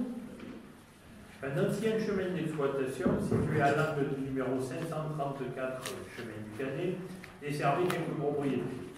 Enregistré au service du cadastre comme un ancien chemin, chemin public, la commune a été contrainte de procéder à un déclassement de ce chemin afin de le rétrocéder au riverains. Ce document d'arpentage a été réalisé par un géomètre le 7 mai 2014 pour rétablir les portions de chemin aux propriétaires riverains qui en avait fait la demande. hein. Par arrêté municipal, date du 29 mars 2016, le conseil municipal décidait de procéder à l'enquête publique préalable à l'aliénation de chemin situé à l'angle du numéro 534 du chemin du Canet en vue de sa cession aux acquéreurs riverains, à savoir M. Mandrico, M. Manguaran, M. Trevisan. L'enquête publique s'est déroulée du 18 avril au 2 mai 2016 le commissaire enquêteur a, mis- émis un avis favorable en date du 5 mai 2016. Une délibération en date du 29 juin 2016 a été présentée au conseil municipal pour approbation du déclassement et des affectations de cet ancien chemin, qui n'était pas très bien entretenu par la ville entre parenthèses. Il est donc proposé au conseil municipal d'approuver la vente de cet ancien chemin d'une superficie de 251 mètres carrés comportant les références cadastrales CE 1002, CE 1003, CE 1004, situées à l'angle du 534 chemin du Canet, au riverain ci-dessus indiqué. De décider le prix de cette transaction à 1750 euros. Cette somme correspond aux frais occasionnés par cette opération. Les frais de notaire seront à la charge des acquéreurs. D'autoriser Madame le maire à signer tous les documents afférents au présent projet. Il est évident que l'entretien de ce chemin sera après pour les euh, trois riverains qui se sont portés cœur. Des questions? Non? Non? Donc qui est contre Qui s'abstient? Merci. Point 9, acquisition amiable locale cadastrée BV 150 au 34, 14 avenue d'Hôpital à Valoris, Périssol. Madame Périssol et Monsieur Périssol Marius, propriétaires d'un local situé au rez-de-chaussée du 14 avenue de l'hôpital, ex-croissanterie, c'est juste un petit peu plus haut là sur la droite, ont proposé à la ville d'acquérir à l'amiable leur bien cadastré BV 150, lot 34, d'une superficie de 55 mètres carrés. Cette cession est proposée au prix de 63 000 euros, conformément à l'estimation effectuée par la brigade des évaluations domaniales de France Domaine, c'est. Cette acquisition permettra de transférer le bureau d'information jeunesse et de le rapprocher notamment du collège, puisque c'est tout à fait en face. En conséquence, il est proposé au conseil municipal d'approuver l'acquisition de ce local au prix de 63 000 euros, d'autoriser Madame le maire à signer tous les documents et actes à intervenir à cet effet. Des questions? Non, simplement que dans le local. Ben écoutez, on va le laisser, hein, puisque c'était loué. Donc petit à petit, on migre. Et voilà, et c'est un local tout à fait intéressant parce qu'on va le restaurer avec un chantier école. Voilà. Donc, dans le cadre de la politique de la ville, ce sont des jeunes qui sont encadrés par des professionnels qui vont rénover ce local. Donc, en plus, ça a une plus-value. Voilà, donc c'est très intéressant. Euh, des questions Autres questions? Euh, qui est contre? Qui s'abstient? Merci. Point 10. Répartition intercommunale des charges de fonctionnement des écoles publiques. Convention de réciprocité avec la commune de Possol. Approbation. Les dispositions de l'article 23 de la loi du 22 juillet 1983 fixent la répartition des charges intercommunales des écoles publiques accueillant des enfants issus de plusieurs communes. Le montant de la participation est fixé par accord entre les communes. Cet accord est formalisé par une convention. À défaut d'accord, il revient au préfet d'arbitrer après avis du conseil départemental de l'éducation. Considérons que les communes de résidence sont appelées à participer aux frais de fonctionnement des écoles publiques. Considérons que les villes de Valoris, Golfe-Juan et Cossol accueillent dans les écoles publiques de leur territoire des enfants domiciliés dans ces villes communes. À ce titre, des dérogations acceptées par les communes de résidence sont justifiées par des motifs tirés de contraintes liées, comme l'obligation professionnelle des familles, la raison médicale, la fratrie, etc. Il est donc proposé qu'une convention de réciprocité soit signée entre les communes de Valoris Golfe-Jean et Cossol, basée selon les conditions financières fixées ci-après. Coût annuel d'un élève pour l'enseignement en maternelle et en élémentaire arrêté à 675 euros.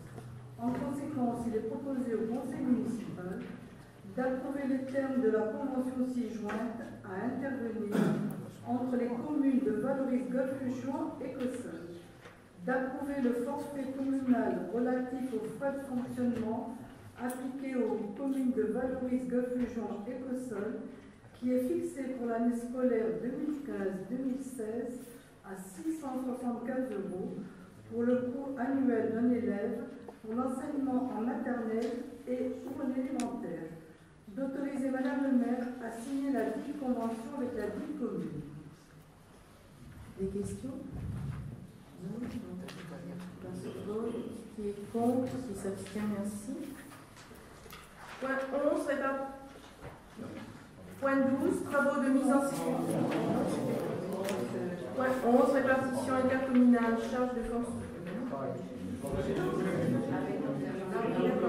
Répartition intercommunale des charges de fonctionnement des écoles publiques, convention de réciprocité avec la commune d'Antibes, Juan-les-Pins, approbation, Madame Sakini.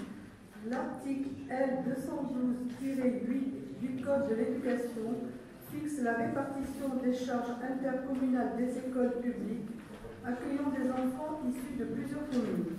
Les villes de Valoris Golfe-Fusion et Antibes, Juan-les-Pins accueillent dans les écoles publiques de leur territoire des enfants domiciliés dans d'autres communes.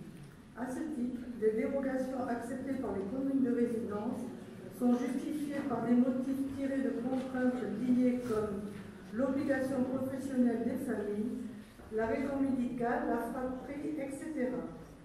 Il est donc proposé qu'une convention de réciprocité soit signée entre les communes de valoris golfe jean et Antibes-Jean-les-Pins, applicable à partir de l'année scolaire 2016-2017 est basé selon les conditions financières fixées ci-dessous.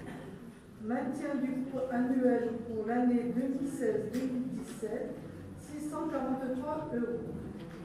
Il est donc demandé au conseil municipal d'approuver les termes de la convention 6 juin à intervenir entre les communes de valoris jean et d'Antibes jean les d'approuver le forfait communal relatif aux frais de fonctionnement appliqués aux communes de Valoris Golfe-Jean et Antibes-Jean-les-Pins, fixé pour l'enseignement maternel et ou élémentaire de l'élève au titre de l'année scolaire 2016-2017 à 643 euros. D'autoriser Madame le maire à signer les dites conventions. Des questions? Qui est contre Qui s'abstient Merci. Madame le maire, je voudrais faire une petite intervention parce que depuis un petit moment, il y a quelqu'un qui, j'ai l'impression, qui est en train de, de- de me filmer, enfin de nous filmer. Je voudrais savoir si c'est la réalité et savoir pourquoi vous filmez, parce que je trouve ça un petit peu gênant, surtout qu'on n'est pas au courant du tout. Monsieur Fleury, je crois. Oui, c'est ça. Voilà. Alors, qu'est-ce que vous allez faire dans cette vidéo? C'est une vidéo qui est diffusée en direct, Ouais. étant donné que la C'est un peu gênant. une, une réunion publique, je ne vois pas ce qui peut s'y opposer. Euh, vous auriez pu peut-être nous en avertir. Par courtoisie, Pardon, pour la moindre des choses, la courtoisie. quand vous filmez pour M. Falco, il aurait été judicieux, M. Falco, qui nous donne régulièrement des leçons de morale, de nous avertir un petit peu avant. Merci. Je filmer à titre personnel. Bien sûr, mais on a des codes, vous savez, entre élus, mais bon, nous on les respecte. Voilà, c'est ça, c'est simplement de savoir. J'aurais changé de cravate, franchement. Bon, point 12. Travaux de mise en sécurité des écoles et crèches de la commune, demande de subvention, M. Salmon. La ville de Nice a connu le 14 juillet 2016 un tragique attentat qui a coûté la vie à 86 personnes. Compte tenu des risques que malheureusement notre département est susceptible d'encourir en matière de terrorisme, les services de l'État ont demandé aux communes de procéder à un certain nombre d'aménagements aux abords des écoles et des crèches afin d'en améliorer la sécurité, notamment au cours d'une réunion qui s'est tenue au rectorat le 24 août dernier et à la suite de la circulaire de M. le préfet des Alpes-Maritimes en date du 4 octobre 2016. Le service des bâtiments communaux a effectué une visite des, établissements scolaires et de la petite enfance avec un référent sécurité de la police nationale. Il en résulte la réalisation de plusieurs actions de sécurisation telles que suppression de stationnement aux abords des établissements avec agrandissement des trottoirs, occultation des clôtures avec rehaussement des portails, installation de visiophones, installation de boutons d'alerte reliés à la police municipale, fourniture de boutons d'alerte mobiles en fonction de la taille de l'école ou de la crèche. Au-delà des établissements accueillant des enfants, l'hôtel de ville a fait l'objet de l'installation de caméras de vidéoprotection et d'un portique de sécurité et la, mairie, annexe de caméras. L'ensemble de ces travaux représente un coût estimé à 480 000 euros TTC. Aussi, eu égard à la somme importante que ces derniers représentent pour les finances communales, il convient de solliciter des subventions auprès de l'État au titre de fonds interministériels de prévention de la délinquance, du département et de la région et de la communauté d'agglomération de Sophia Antipolis.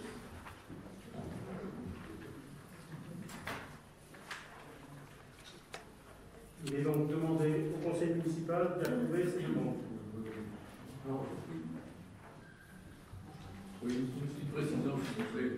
À l'heure actuelle, il y a un certain nombre de travaux qui ont été réalisés autour des bâtiments scolaires et autour des, des crèches. Ça, ça en fait partie ou c'est euh, en supplément? Ou c'est en avant-première, si vous voulez C'est la totalité des travaux qui ont été chiffrés 480 000 euros TTC, donc ça en fait partie. Ça en fait partie. Merci. D'autres questions Donc, qui est contre, qui s'abstient ici Point 13, communauté d'agglomération Sophia Antipolis, transfert de la compétence, promotion du tourisme, dont la création d'office de tourisme et zone d'activité touristique. Monsieur Bertrand. Considérons que la loi numéro 2015-991 du 7 août 2015 portant nouvelle organisation territoriale de la, République, la République, notée, a opéré un renforcement des compétences de l'intercommunalité, considérant qu'à compter du 1er janvier 2015, les missions actuellement communales en matière de promotion du tourisme, dont la création d'office du tourisme, seront rattachées au bloc obligatoire des communautés de communes et communautés d'agglomération au sein de la compétence développement économique, considérant qu'ainsi, au terme de l'article L134-1 du Code du tourisme, tel que modifié par la loi Notré, la communauté d'agglomération Sophia Antipolis, CASA, exercera de plein droit, à compter du 1er janvier 2017, en lieu et place de ses communes membres, dans des conditions prévues par l'article L5216-5 du CGCT. La compétence en matière de création, d'aménagement, d'entretien et de gestion des zones d'activité touristique. La compétence en matière de promotion du tourisme, dont la création d'offices de tourisme. Considérant que cette dernière compétence regroupe uniquement les missions régaliennes des offices de tourisme, à savoir l'accueil, l'information, la promotion touristique, la coordination des interventions des divers partenaires du développement touristique, considérant que, conformément à la loi Notré, à l'occasion du transfert de cette compétence, les offices du tourisme des communes touristiques et des stations classées de tourisme seront transformés en bureau d'information de l'office du tourisme intercommunal, sauf lorsqu'ils deviennent le siège de cet office du tourisme. Considérant que par délibération numéro CC 2016.058 du Conseil communautaire du 27 juin 2016, la CASA a décidé de se doter au titre de ses compétences obligatoires de la compétence relative à la promotion du tourisme, dont la création d'offices de tourisme et zones d'activité touristique.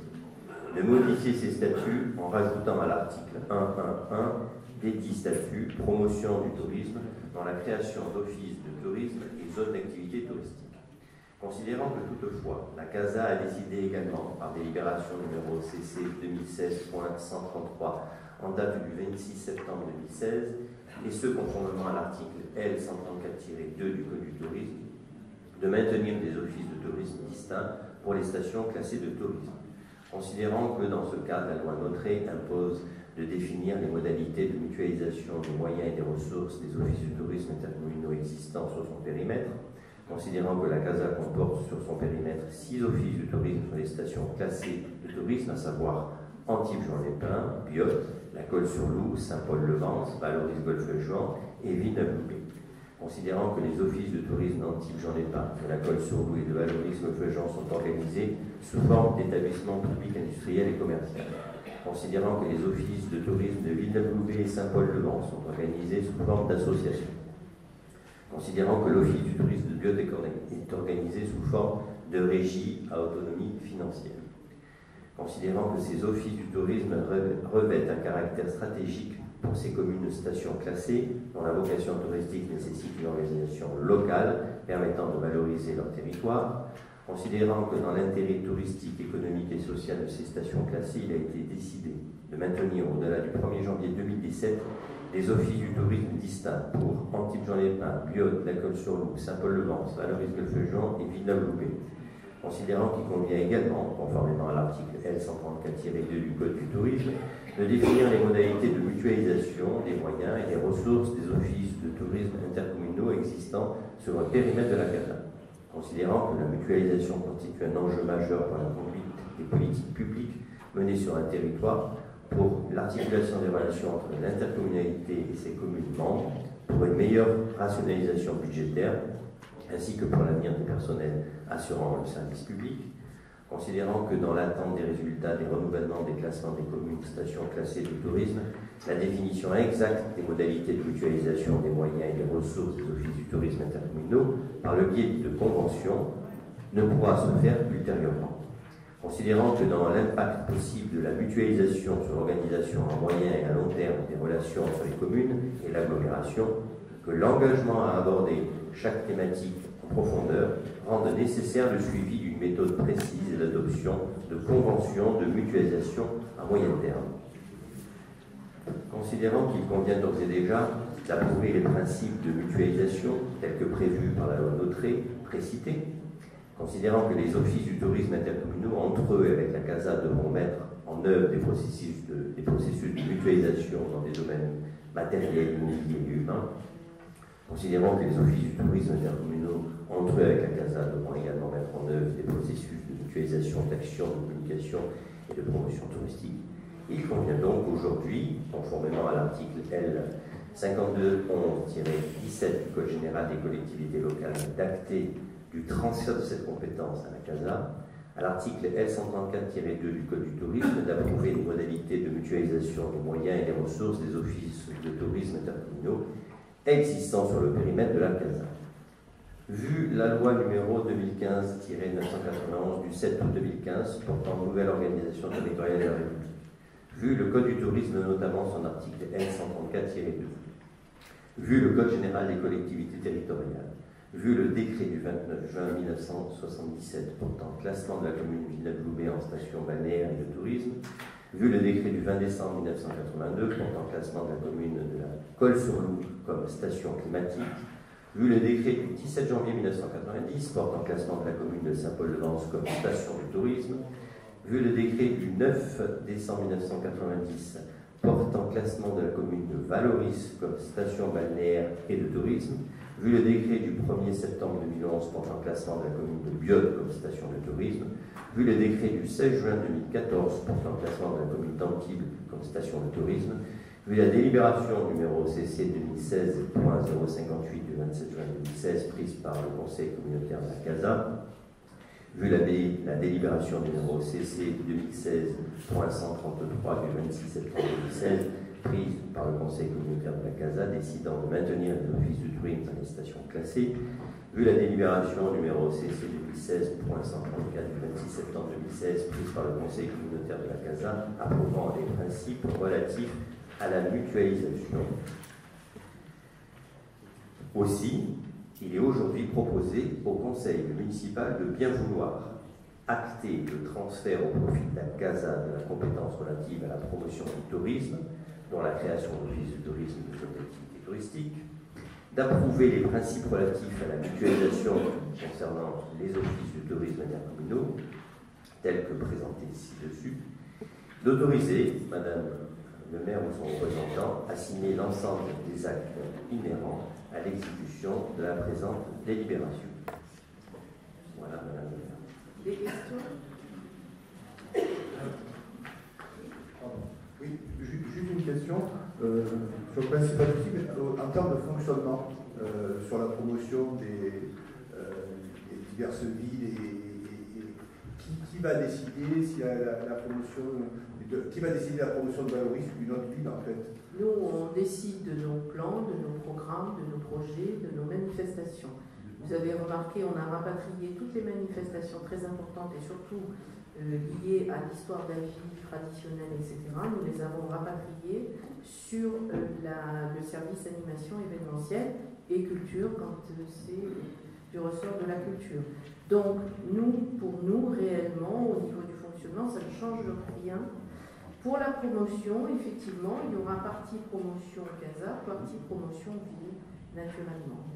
Bon, j'avoue que ça se fait déjà un petit peu comme euh, pas de la même manière parce qu'il faudra préciser, c'est un petit peu embrouillé. La loi vient de changer et c'est encore autre chose. Donc c'est vrai qu'on a un peu de mal à s'y retrouver parce qu'il semblerait que nous ayons un ministre qui, lui, euh, s'occupe d'une station de montagne et à qui ça ne convient pas. Donc il a modifié la loi, ce qui fait que naturellement par ricochet, nous qui sommes aussi stations classées, euh, ça nous permet de fonctionner peut-être autrement, mais on va y réfléchir parce que on, est, on, on était lancé, ça faisait un an qu'on travaillait sur ce transfert qui est très intéressant, dans la mesure où on avait sorti un, un programme commun sur les 24 communes, donc qui a très bien fonctionné aussi, parce que les 24 communes étaient informées de tout ce qui se passait dans les autres communes. Donc c'était quand même vraiment une plus-value, on était tous très contents, on s'est tous organisés et au moment de, de, du transfert, puisque nous sommes à la porte du 1er janvier, la loi a changé. Donc euh, on repousse le fonctionnement et on se dit qu'on va attendre d'avoir une clarification pour se prononcer euh, sur le fonctionnement de l'Office du tourisme. Mais enfin, nous, on est prêts, tout est organisé. Si, si, je dis ça, c'est que par exemple, la loi a mis aussi en place il y a quelques années les communautés d'agglomération. Oui. Finalement, c'était aussi très intéressant. Pendant plusieurs années, ça a été surtout intéressant pour Antibes et moins pour Valoris. Donc, ce, le, ça a beaucoup changé depuis. Oui, oui, j'entends bien, j'entends bien, j'entends bien. Mais, mais là, la, la, remontée de la compétence, euh, cette compétence communication, animation, etc., qui, qui, remonte au niveau de la CASA, et comme vous dites, tout n'est pas encore tout à fait cadré. D'où, euh, si, si, votre question c'est est-ce que l'Office du tourisme d'Antibes, ai pas déjà compté, c'est non. C'était un peu ça. Non, non, l'Office du tourisme d'Antibes a son, une spécificité, son fonctionnement propre. Il n'entend pas chapeauter les autres offices. Bien évident que ça a été la première question de tous les maires, et euh, ça a été clairement dit, c'est non, Antibes Jean Lupin ne va pas chapeauter les autres offices du tourisme, c'est pas possible. Par contre, les, offices du tourisme auront aussi la compétence pour vendre du billet euh, sur Biot, sur Antibes, sur Réseau, etc. Donc, euh, mais là, euh, il y a eu un coup d'arrêt massif là, on a été tous extrêmement surpris. Euh, donc ça reste à être validé par le Sénat, donc ça va être fait dans la, dans foulée. Et c'est vrai que ça remet un petit peu euh, en question l'adhésion ou pas.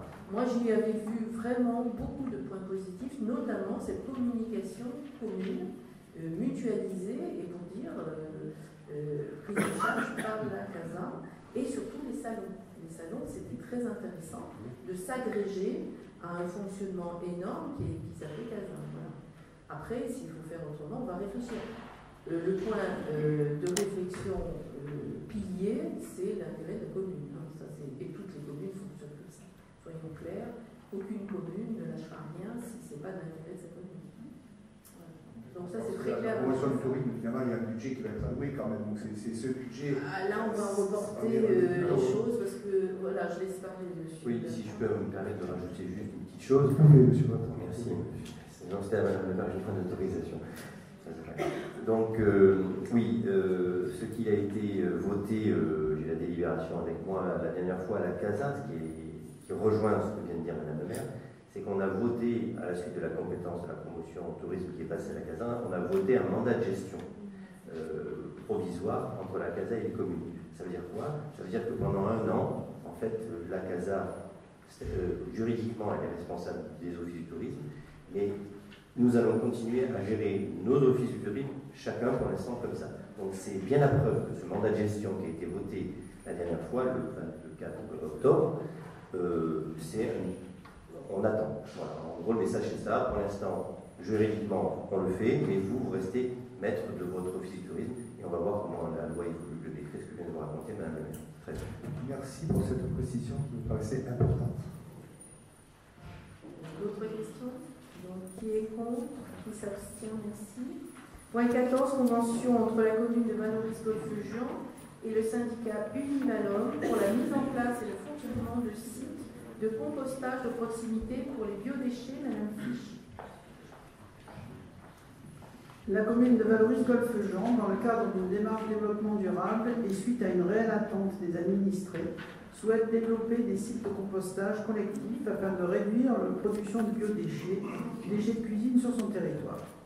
Univalom propose ainsi aux communes volontaires de la CASA de mettre à disposition de la population des unités de compostage et de former les personnes volontaires aux bonnes pratiques du compostage. La présente convention a pour objet de définir d'une part les conditions de mise en place et de fonctionnement de sites de compostage de proximité pour la valorisation des déchets des ménages, des ménages, des ménages, et plus spécifiquement des biodéchets, déchets de cuisine, et d'autre part les droits et obligations respectives de la commune et du syndicat dans la mise en œuvre d'une politique de proximité de valorisation de ces déchets. Le premier site retenu se situe à proximité des espaces verts du parking Jaubert. D'autres sites pourront être ajoutés par la suite en passant des avenants à la présente convention. En conséquence, il est demandé au conseil municipal d'autoriser Madame le maire à signer la convention entre la commune et le syndicat Univalom pour la mise en place et le fonctionnement de sites de compostage de proximité pour les biodéchets. Vous avez en, donc en pièce jointe le- la convention. Euh, Des questions Non Des questions Donc, euh, qui est pour Qui s'abstient Qui est contre Voilà. Qui est pour Personne n'a répondu. hein. Vous me suivez pas. C'est ça, là, je vous arrêtez. dis, vous me suivez pas. J'ai changé un peu. Donc, je répète. Qui est contre Qui s'abstient Merci. Donc, tout le reste est pour. Euh, point 15, résiliation de la démarche du contrat de paix. Le contrat de Golfes de l'Érins a été signé le 3 juin 2013 par tous les maîtres d'ouvrage, les partenaires financiers, Agence de l'eau, RMC, Conseil régional PACA, Conseil départemental des Alpes-Maritimes et l'État, Monsieur le préfet des Alpes-Maritimes. Par ce contrat, les maîtres d'ouvrage se sont engagés à réaliser les opérations inscrites au plan d'action.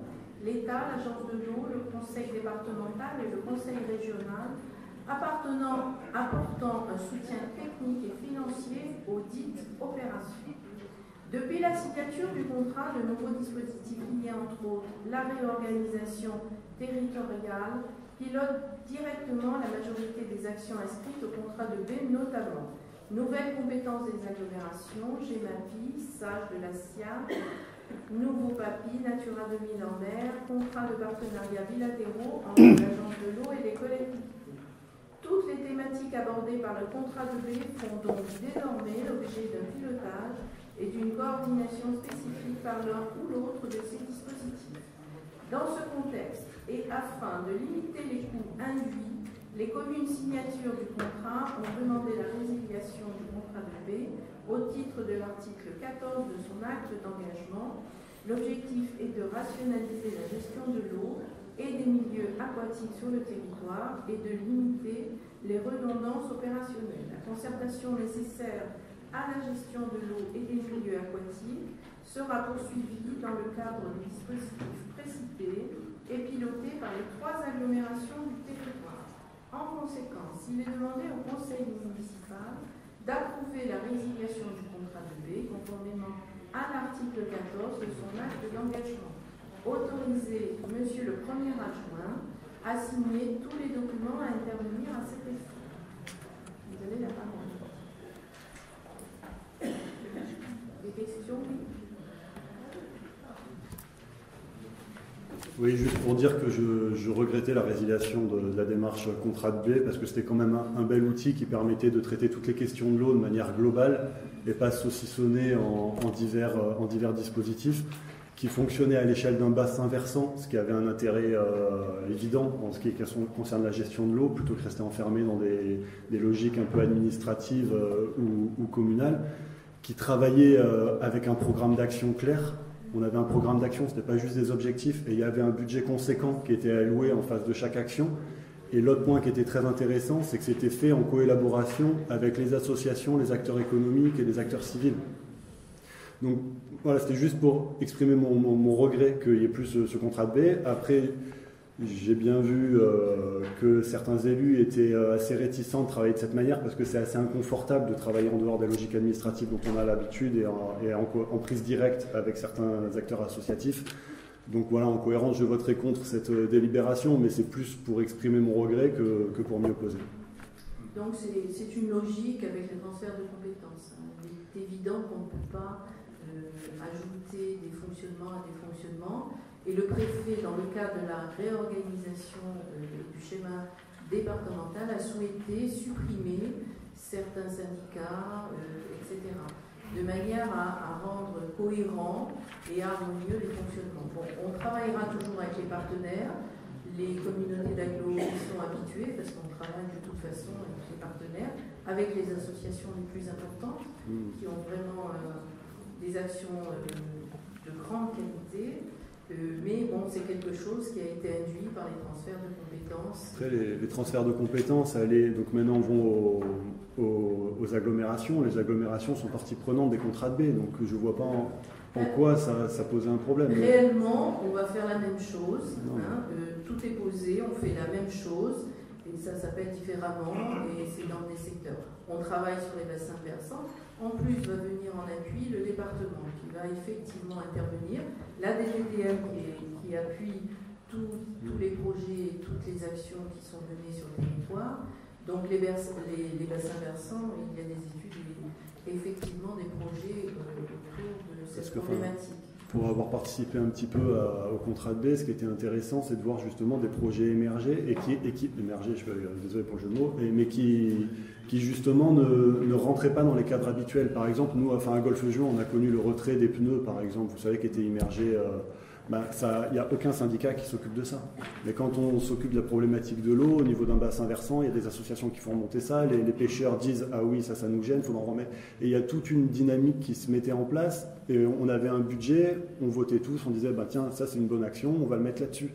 Et en, saucissonnant cette problématique, et pareil pour, les, pour tout ce qui était euh, prévention des inondations, aménagement, euh, aménagement euh, du territoire et tout, je trouvais que c'était vraiment un outil intéressant.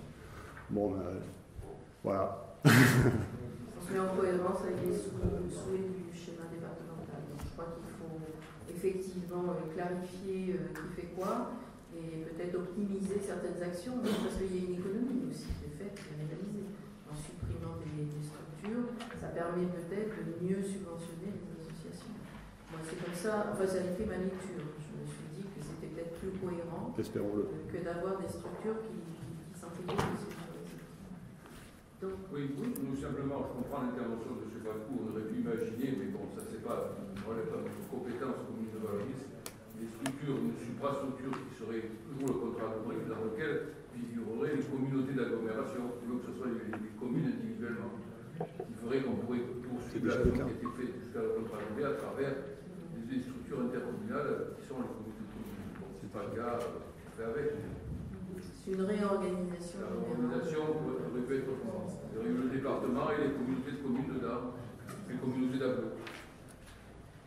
Voilà. C'est un choix. C'est un choix. C'est le préfet qui. Oui, oui. Bon, il y a d'autres syndicats qui ont été supprimés et qui posent problème également. Pas d'autres. euh, Euh, Qui est contre Qui s'abstient Qui est contre Contre Contre Monsieur contre Qui s'abstient Non Très bien, merci. Euh, Point 16, approbation du protocole de dissolution du cycle. La loi euh, 2010-1563 du 16 décembre 2010 de réforme des collectivités territoriales qui prescrit dans chaque département l'élaboration d'un schéma départemental de coopération intercommunale. La loi numéro 2014-58 du 27 janvier 2014 de modification de l'action publique territoriale et d'affirmation des métropoles, MAPDAM, la loi numéro 2015-991 du 7 août 2015 portant nouvelle organisation territoriale de la République notée et notamment les articles 59, 66 et 76. L'arrêté préfectoral en date du 12 mars 2016 portant schéma départemental de coopération intercommunale des Alpes-Maritimes qui prescrit la dissolution du syndicat intercommunal du contrat de baie des Golfes de l'Érins. La délibération 2016-003 du 8 mars 2016 du SIG émettant un avis favorable sur le projet de schéma départemental de coopération intercommunale des Alpes-Maritimes prévoyant la dissolution du SIG et autorisant Madame la Présidente à mettre en œuvre tout acte nécessaire à la dissolution du SIG. Le Code général des collectivités territoriales et notamment les articles L5212-33, L5211-21-1 et L5211-26, l'arrêté préfectoral en date du 8 février 2010 portant création du syndicat intercommunal du contrat de baie des Golfes de l'Érins, l'annexe à la délibération décrit les conditions de liquidation, clé de répartition financière, actifs, biens meubles, passifs, emprunts, reste à recouvrer et à payer, mandat titre de rattachement, trésorerie, répartition des agents entre les communes membres, la commune de Valoris jouera le rôle de collectivité support et aura la charge, une fois la dissolution effective, de gérer les restes à recouvrer et à payer, et mandat éthique de rattachement, article 4 de l'annexe de la délibération. En conséquence, il est demandé au conseil municipal d'approuver les conditions de la liquidation du site telles que précisées, précisées dans l'annexe de dissolution annexée à la présente délibération sous réserve de la reprise du personnel. D'approuver le transfert à titre gratuit de tous les biens déclassés sortis des actifs du sigle à la commune de Valoris. Justement, vous parliez du personnel, que devient-il du cas de M. Voilà. Eh oui. Donc c'est la difficulté, donc on ne peut pas clôturer tant que M. Turlan n'a pas trouvé de poste. Euh, il est bien évident que la, euh, la ville de Valoris n'a pas de poste, la CASA non plus, puisque nous allons faire un transfert et là il va y avoir beaucoup de personnel. Nous avons fait une demande avec M. Turlan dans toutes les communes concernées par le cycle et à ce jour il n'a eu aucun retour positif. Donc il postule sur d'autres postes, notamment au département, et on attend de... Parce qu'il venait à l'origine de la commune de Cannes, hein. il ne peut pas retourner à Cannes, il n'a pas trouvé la possibilité de ça réintégrer ne Cannes. fonctionne pas comme ça. Non. Donc, voilà.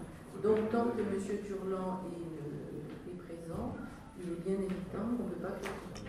Alors euh, tout le dispositif a été supervisé par M. Saunier, trésorier public, accompagné cette, fermeture d'activité, euh, voilà. Donc on attend.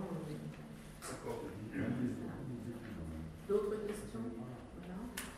Donc qui est contre? Qui s'abstient? Merci. Point 16, approbation du protocole de dissolution du site. Euh, j'ai déjà fait. Je vais refaire parce que c'est. Voilà, tu as quelque chose. Oui, tu es attaché aussi. Alors, point 17, oui. C'était, c'était, il y avait de belles opérations et de belles actions. Azurea Club, convention d'objectifs et de moyens venant, Monsieur Bertrand. Oui, dans le cadre du soutien financier que la ville apporte aux associations sportives au travers des conventions d'objectifs et de moyens, il est nécessaire d'apporter une modification dans la participation à l'association Azurea Club Golf Jean Valoris pour le versement d'une subvention complémentaire. En effet, si un versement initial de 185 000 euros a été mis en œuvre lors d'une première convention, un élément imprévisible à cette période doit être pris en compte puisque la dite association doit faire face à un nouveau découpage de la poule A du championnat de France NM2 qui induit des déplacements géographiques plus éloignés que ceux qui auraient dû exister si un tel redécoupage n'avait pas été décidé par la Fédération française de basketball. Voilà, tout simplement, il est demandé à l'ensemble du conseil municipal de se prononcer sur cette demande et d'autoriser Madame le maire à signer la convention et les documents à intervenir. Des questions? Donc, notre question, simplement, une remarque, en quelque sorte, c'est la rançon du succès. Quoi. Un petit peu, mais pas seulement. Ils sont dans l'obligation de prendre l'avion, ce qui est un coût absolument considérable qui n'avait pas été anticipé parce qu'effectivement, ils ont essayé de, faire modifier euh, les déplacements de manière à ne pas aller dans des villes extrêmement éloignées des Alpes-Maritimes. Bon, c'est réversible, hein, c'est la même chose pour ceux qui vont venir chez nous. Et le coût est considérable. Donc, ils coupent la poire en deux, il y a partie avion et ils reviennent en bus. Voilà, donc pour essayer de limiter le coût, mais le coût est là, euh, l'avion coûte très très cher. Donc on a souhaité euh, euh, les aider parce que c'était très compliqué. On a fait appel à des sponsors, mais ça a été difficile. Et donc il n'y avait plus d'autre choix que euh, d'augmenter la subvention. Et en plus, bon, depuis le début de la saison, c'est un carton plein. Tout gagné. Et c'est absolument fabuleux. C'est très encourageant et très positif pour la Voilà. Et je les félicite publiquement. D'autres questions Qui est contre Qui s'abstient Merci. Point 18, transfert euh, de compétences du port de Golfe-Juan. Le Vieux-Port, approbation, convention de transfert, autorisation de signature. Madame Fiche. La loi numéro 2015-991 du 7 août 2015 portant nouvelle organisation territoriale de la République donne la possibilité par son article 22 de transférer la propriété, l'aménagement, l'entretien et la gestion des ports relevant jusqu'alors des départements aux collectivités ayant fait acte de candidature. Le conseil municipal s'est ainsi prononcé favorablement à un dépôt de candidature de la commune le 18 mars 2016, compte tenu de l'intérêt certain d'un rapprochement global et dynamique pour les deux ports situés sur son territoire. Les deux collectivités se sont donc rapprochées afin de mettre en place les modalités du transfert qui doit intervenir le 1er janvier 2017. Ces modalités reprises par voie de convention concernent les aspects suivants. La domanialité des biens transmis, la mission issue de la compétence, la transmission des contrats, concessions et conventions en cours, les moyens matériels transférés, les moyens humains transférés, les moyens financiers transférés, la dotation de compensation versée annuellement. La, commission locale pour l'évaluation des charges et ressources transférées, présidée par le président de la Chambre régionale des comptes, consulté le 29 septembre dernier, a rendu un avis favorable sur les modalités financières présentées. Avis favorable sur les, sur les périodes de référence transmises en prise en compte pour le calcul des dépenses de fonctionnement et d'investissement et sur les modalités d'évaluation des dépenses engagées par le département. Avis favorable sur l'évaluation des charges et sur les modalités de compensation. Concernant le transfert des ressources humaines affectées au service des ports, le comité technique de la commune a consulté le 26 octobre 2016 Le projet de convention qui vous est donc soumis comprend l'ensemble des éléments visés ci-avant, à savoir les biens du domaine public départemental, compris dans les limites administratives du Vieux-Port, sont transférés en pleine propriété à la commune, en dehors des phares et balises. La commune se substituera aux droits et obligations du département issus des contrats, conventions et concessions en cours. L'exécutif de la commune deviendra l'autorité portuaire et un représentant de l'exécutif de la commune sera investi de l'autorité du pouvoir de police portuaire. À ce titre, deux agents de la filière technique du département assermentés seront transférés comme surveillants de port. La dotation annuelle de compensation versée à titre de l'année 2017 par le département a été estimée à 51 081,88 euros. Elle sera arrêtée définitivement par le préfet. Compte tenu de ce qui précède, il est donc proposé au conseil municipal, vu le code général des collectivités territoriales et son article L 2121-29, vu le code des transports et notamment son livre 3 sur le port, vu la loi numéro 2015-991 du 7 août 2015, dite loi Notré, et notamment son article 22 relatif au transfert de compétences des ports relevant du département, vu la circulaire du 6 novembre 2015 relative à la mise en, en œuvre des transferts de compétences des ports maritimes, vu la délibération du 25 février 2016 de la commission permanente du département statuant sur délégation pour le transfert des ports, vu la délégation du 16 mars, 18 mars 2016 par laquelle le conseil municipal a décidé de faire acte de candidature au trans transfert de propriété et de compétences du port de Golfe-Jean dit le port, vu la délibération du 29 juin 2016 portant désignation des représentants de la commune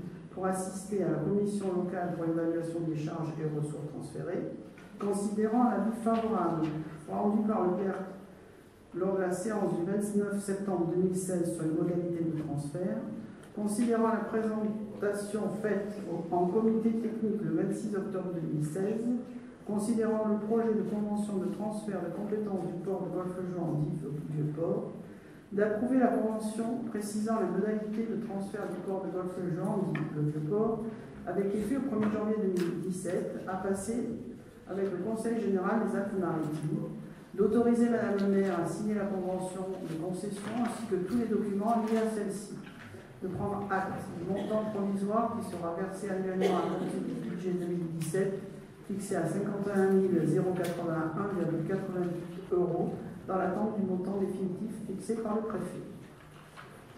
Merci. Des questions?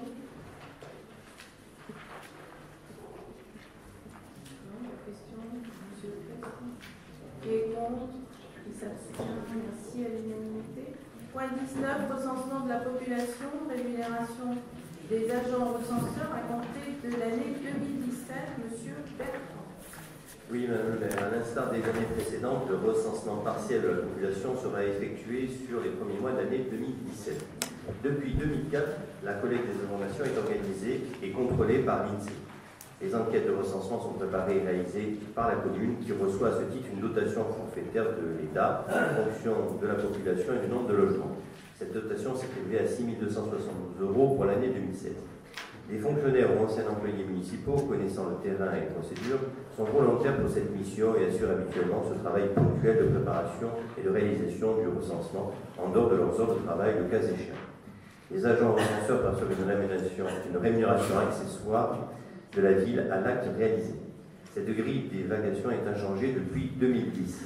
Aussi, il est proposé de la faire évoluer de la manière suivante bulletin, individuel de 1,50€ à 1,60€, feuille de, de, logement de 1,30€ à 1,40€, dossier adresse complète de 3,50€ à 3,80€, euh, mission de coordonnateur de 2800 euros à 3000 euros. Ces montants s'appliqueront pour l'année 2017 et les années suivantes.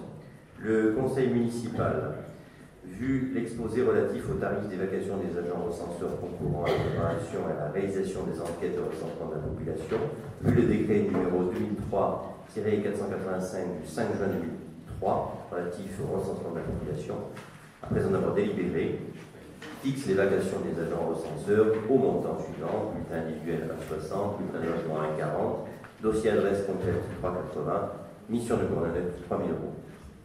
Précise que ces montants s'appliqueront à compter des opérations de recensement de l'année 2017. Voilà, Madame le maire. Merci. Des questions? Non? Des questions? Non? Alors, qui est contre Qui s'abstient? Merci. Point 20, tableau des effectifs, modification, Monsieur Salmon.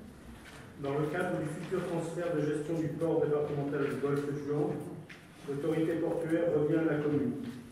Il est donc nécessaire de transférer les deux agents déjà responsables de ces fonctions au sein du service des ports du département. Ce personnel qualifié est titulaire pour l'un d'un grade de technicien principal, pour l'autre du grade d'adjoint technique principal. Afin de pouvoir effectuer le transfert de ces agents dans les effectifs de la commune, il est proposé de modifier le tableau des effectifs en ajoutant les deux postes au tableau d'emploi correspondants. Le comité technique du 26 octobre 2016 s'est prononcé favorablement sur ces recrutements. Les crédits budgétaires sont prévus au budget. Il est donc proposé au conseil municipal la création de ces nouveaux postes et le recrutement induit par le transfert de la compétence de gestion du corps de golfe Des questions? Oui Je n'ai pas de questions particulières euh, sur ce sujet, mais, mais j'en profite, euh, puisqu'on parle des, des personnels, vous savez, je suis très attaché euh, à la commission de, nos personnels, et tout à l'heure, vous nous avez présenté euh, le nouveau DRH, M. Orlando, vous nous l'avez montré, c'est le il m'a dit bonjour, c'était sympa. Est-ce qu'on pourrait avoir une présentation un petit peu plus détaillée pour savoir finalement quelle est, quelle est euh, finalement sa, sa, compétence, où il vient et quelle est finalement l'action qu'il compte mener au sein de la municipalité, euh, au sein des services? Est-ce qu'il peut le faire Je pense que c'est intéressant parce que c'est quand même un, poste clé qui n'enlève rien. On aurait aimé avoir aussi une présentation de notre nouveau directeur financier, mais on, on, on l'a rencontré. Là, on est un peu plus euh, sur notre fait, finance. Mais euh, je, ce que je vous propose, c'est qu'on puisse faire une réunion pour que M. Orlando euh, puisse parler de lui, c'est pas le lieu, dans la mesure où nous sommes filmés, on sait très bien qu'on expose à ce moment-là, et on sait très bien ce que les réseaux sociaux vont faire, je ne souhaite pas euh, exposer. On n'a pas les mêmes valeurs avec certains politiques, donc je m'applique à protéger les agents, et je ne voudrais pas qu'ils se retrouvent sur les réseaux sociaux. Il a une vie privée, et on sait très bien ce que ces réseaux font des personnes. C'est des attaques de personnes, ça n'est pas de politique. Donc je souhaite protéger mes agents, ils sont tranquilles, ils n'ont rien à voir avec la politique, donc j'entends les protéger. Vous ne voulez pas qu'ils se là tout de suite, maintenant, c'était une réunion va très bien, je va faire l'objet d'attaques, vous savez très bien, vous avez, vous avez malheureusement... je pense qu'il est important que sur, sur, une réunion, on voilà, fasse vraiment connaissance pour savoir finalement voilà. c'est d'important. Ça c'est très malsain, moi je protège, les, je protège mes agents, vraiment. Je, je pense qu'ils ne sont pas là pour être jetés en pâture. Donc on aura, on aura cette réunion. Oui, oui, tout à fait. Euh, les deux, hein, le directeur financier. Ah, ça serait, ça serait intéressant si on parlait des postes qui sont quand même euh, importants. Aussi. Après, avec plaisir. Euh, donc, euh, je vous demande non de voter. Qui est contre Qui s'abstient Merci. Point 21, Office du tourisme et station classée de tourisme, demande de classement, M. Bernard. Oui, donc par délibération des 12 février 2016 et 27 avril 2016, le Conseil municipal a respectivement sollicité le classement de l'Office du tourisme en catégorie 2 et le classement de la commune en commune touristique. Ces deux labels ont été obtenus et il convient à présent d'obtenir le classement station classée de tourisme. Préalablement, l'Office du tourisme doit obtenir son classement en catégorie 1. Il est donc proposé au Conseil municipal de solliciter le classement de l'Office du tourisme en catégorie 1 et de solliciter le classement de la commune en station classée de tourisme. Voilà, Madame la maire. Est-ce que vous avez des questions? Donc, je vous demanderai une petite minute après le vote. Euh, je voulais vous lire une lettre que j'ai reçue qui est très jolie et qui récompense un peu le vote que vous avez pu euh, faire euh, dernièrement. Euh, donc, qui est contre Qui s'abstient Merci. Voilà. Donc, suite à, la décision que nous avons votée d'octroyer 100 euros aux bacheliers qui avaient obtenu la mention très bien, j'ai reçu une lettre, j'en ai reçu plusieurs de remerciements, mais celle-ci est tout à fait touchante. Je vous écris pour vous remercier de votre généreux prix de 100 euros. Été très heureux et reconnaissant d'apprendre que j'ai été choisie comme bénéficiaire de cette récompense. J'étudie actuellement au lycée Masséna de Nice en première année CPGE, lettres supérieures. Cette aide va me permettre d'acheter de nombreux livres qui sont indispensables et essentiels à la poursuite de mes études littéraires. Je vous prie d'agréer Madame le maire, donc je vous renvoie le remerciement, avec mes remerciements, l'expression de mes salutations. Donc on s'interrogeait lorsqu'on a voté euh, cette- ce, prix spécial, on s'interrogeait de savoir quelle était l'utilité, donc nous savons quelle est l'utilité. Et voilà. Merci à tous, bonne soirée.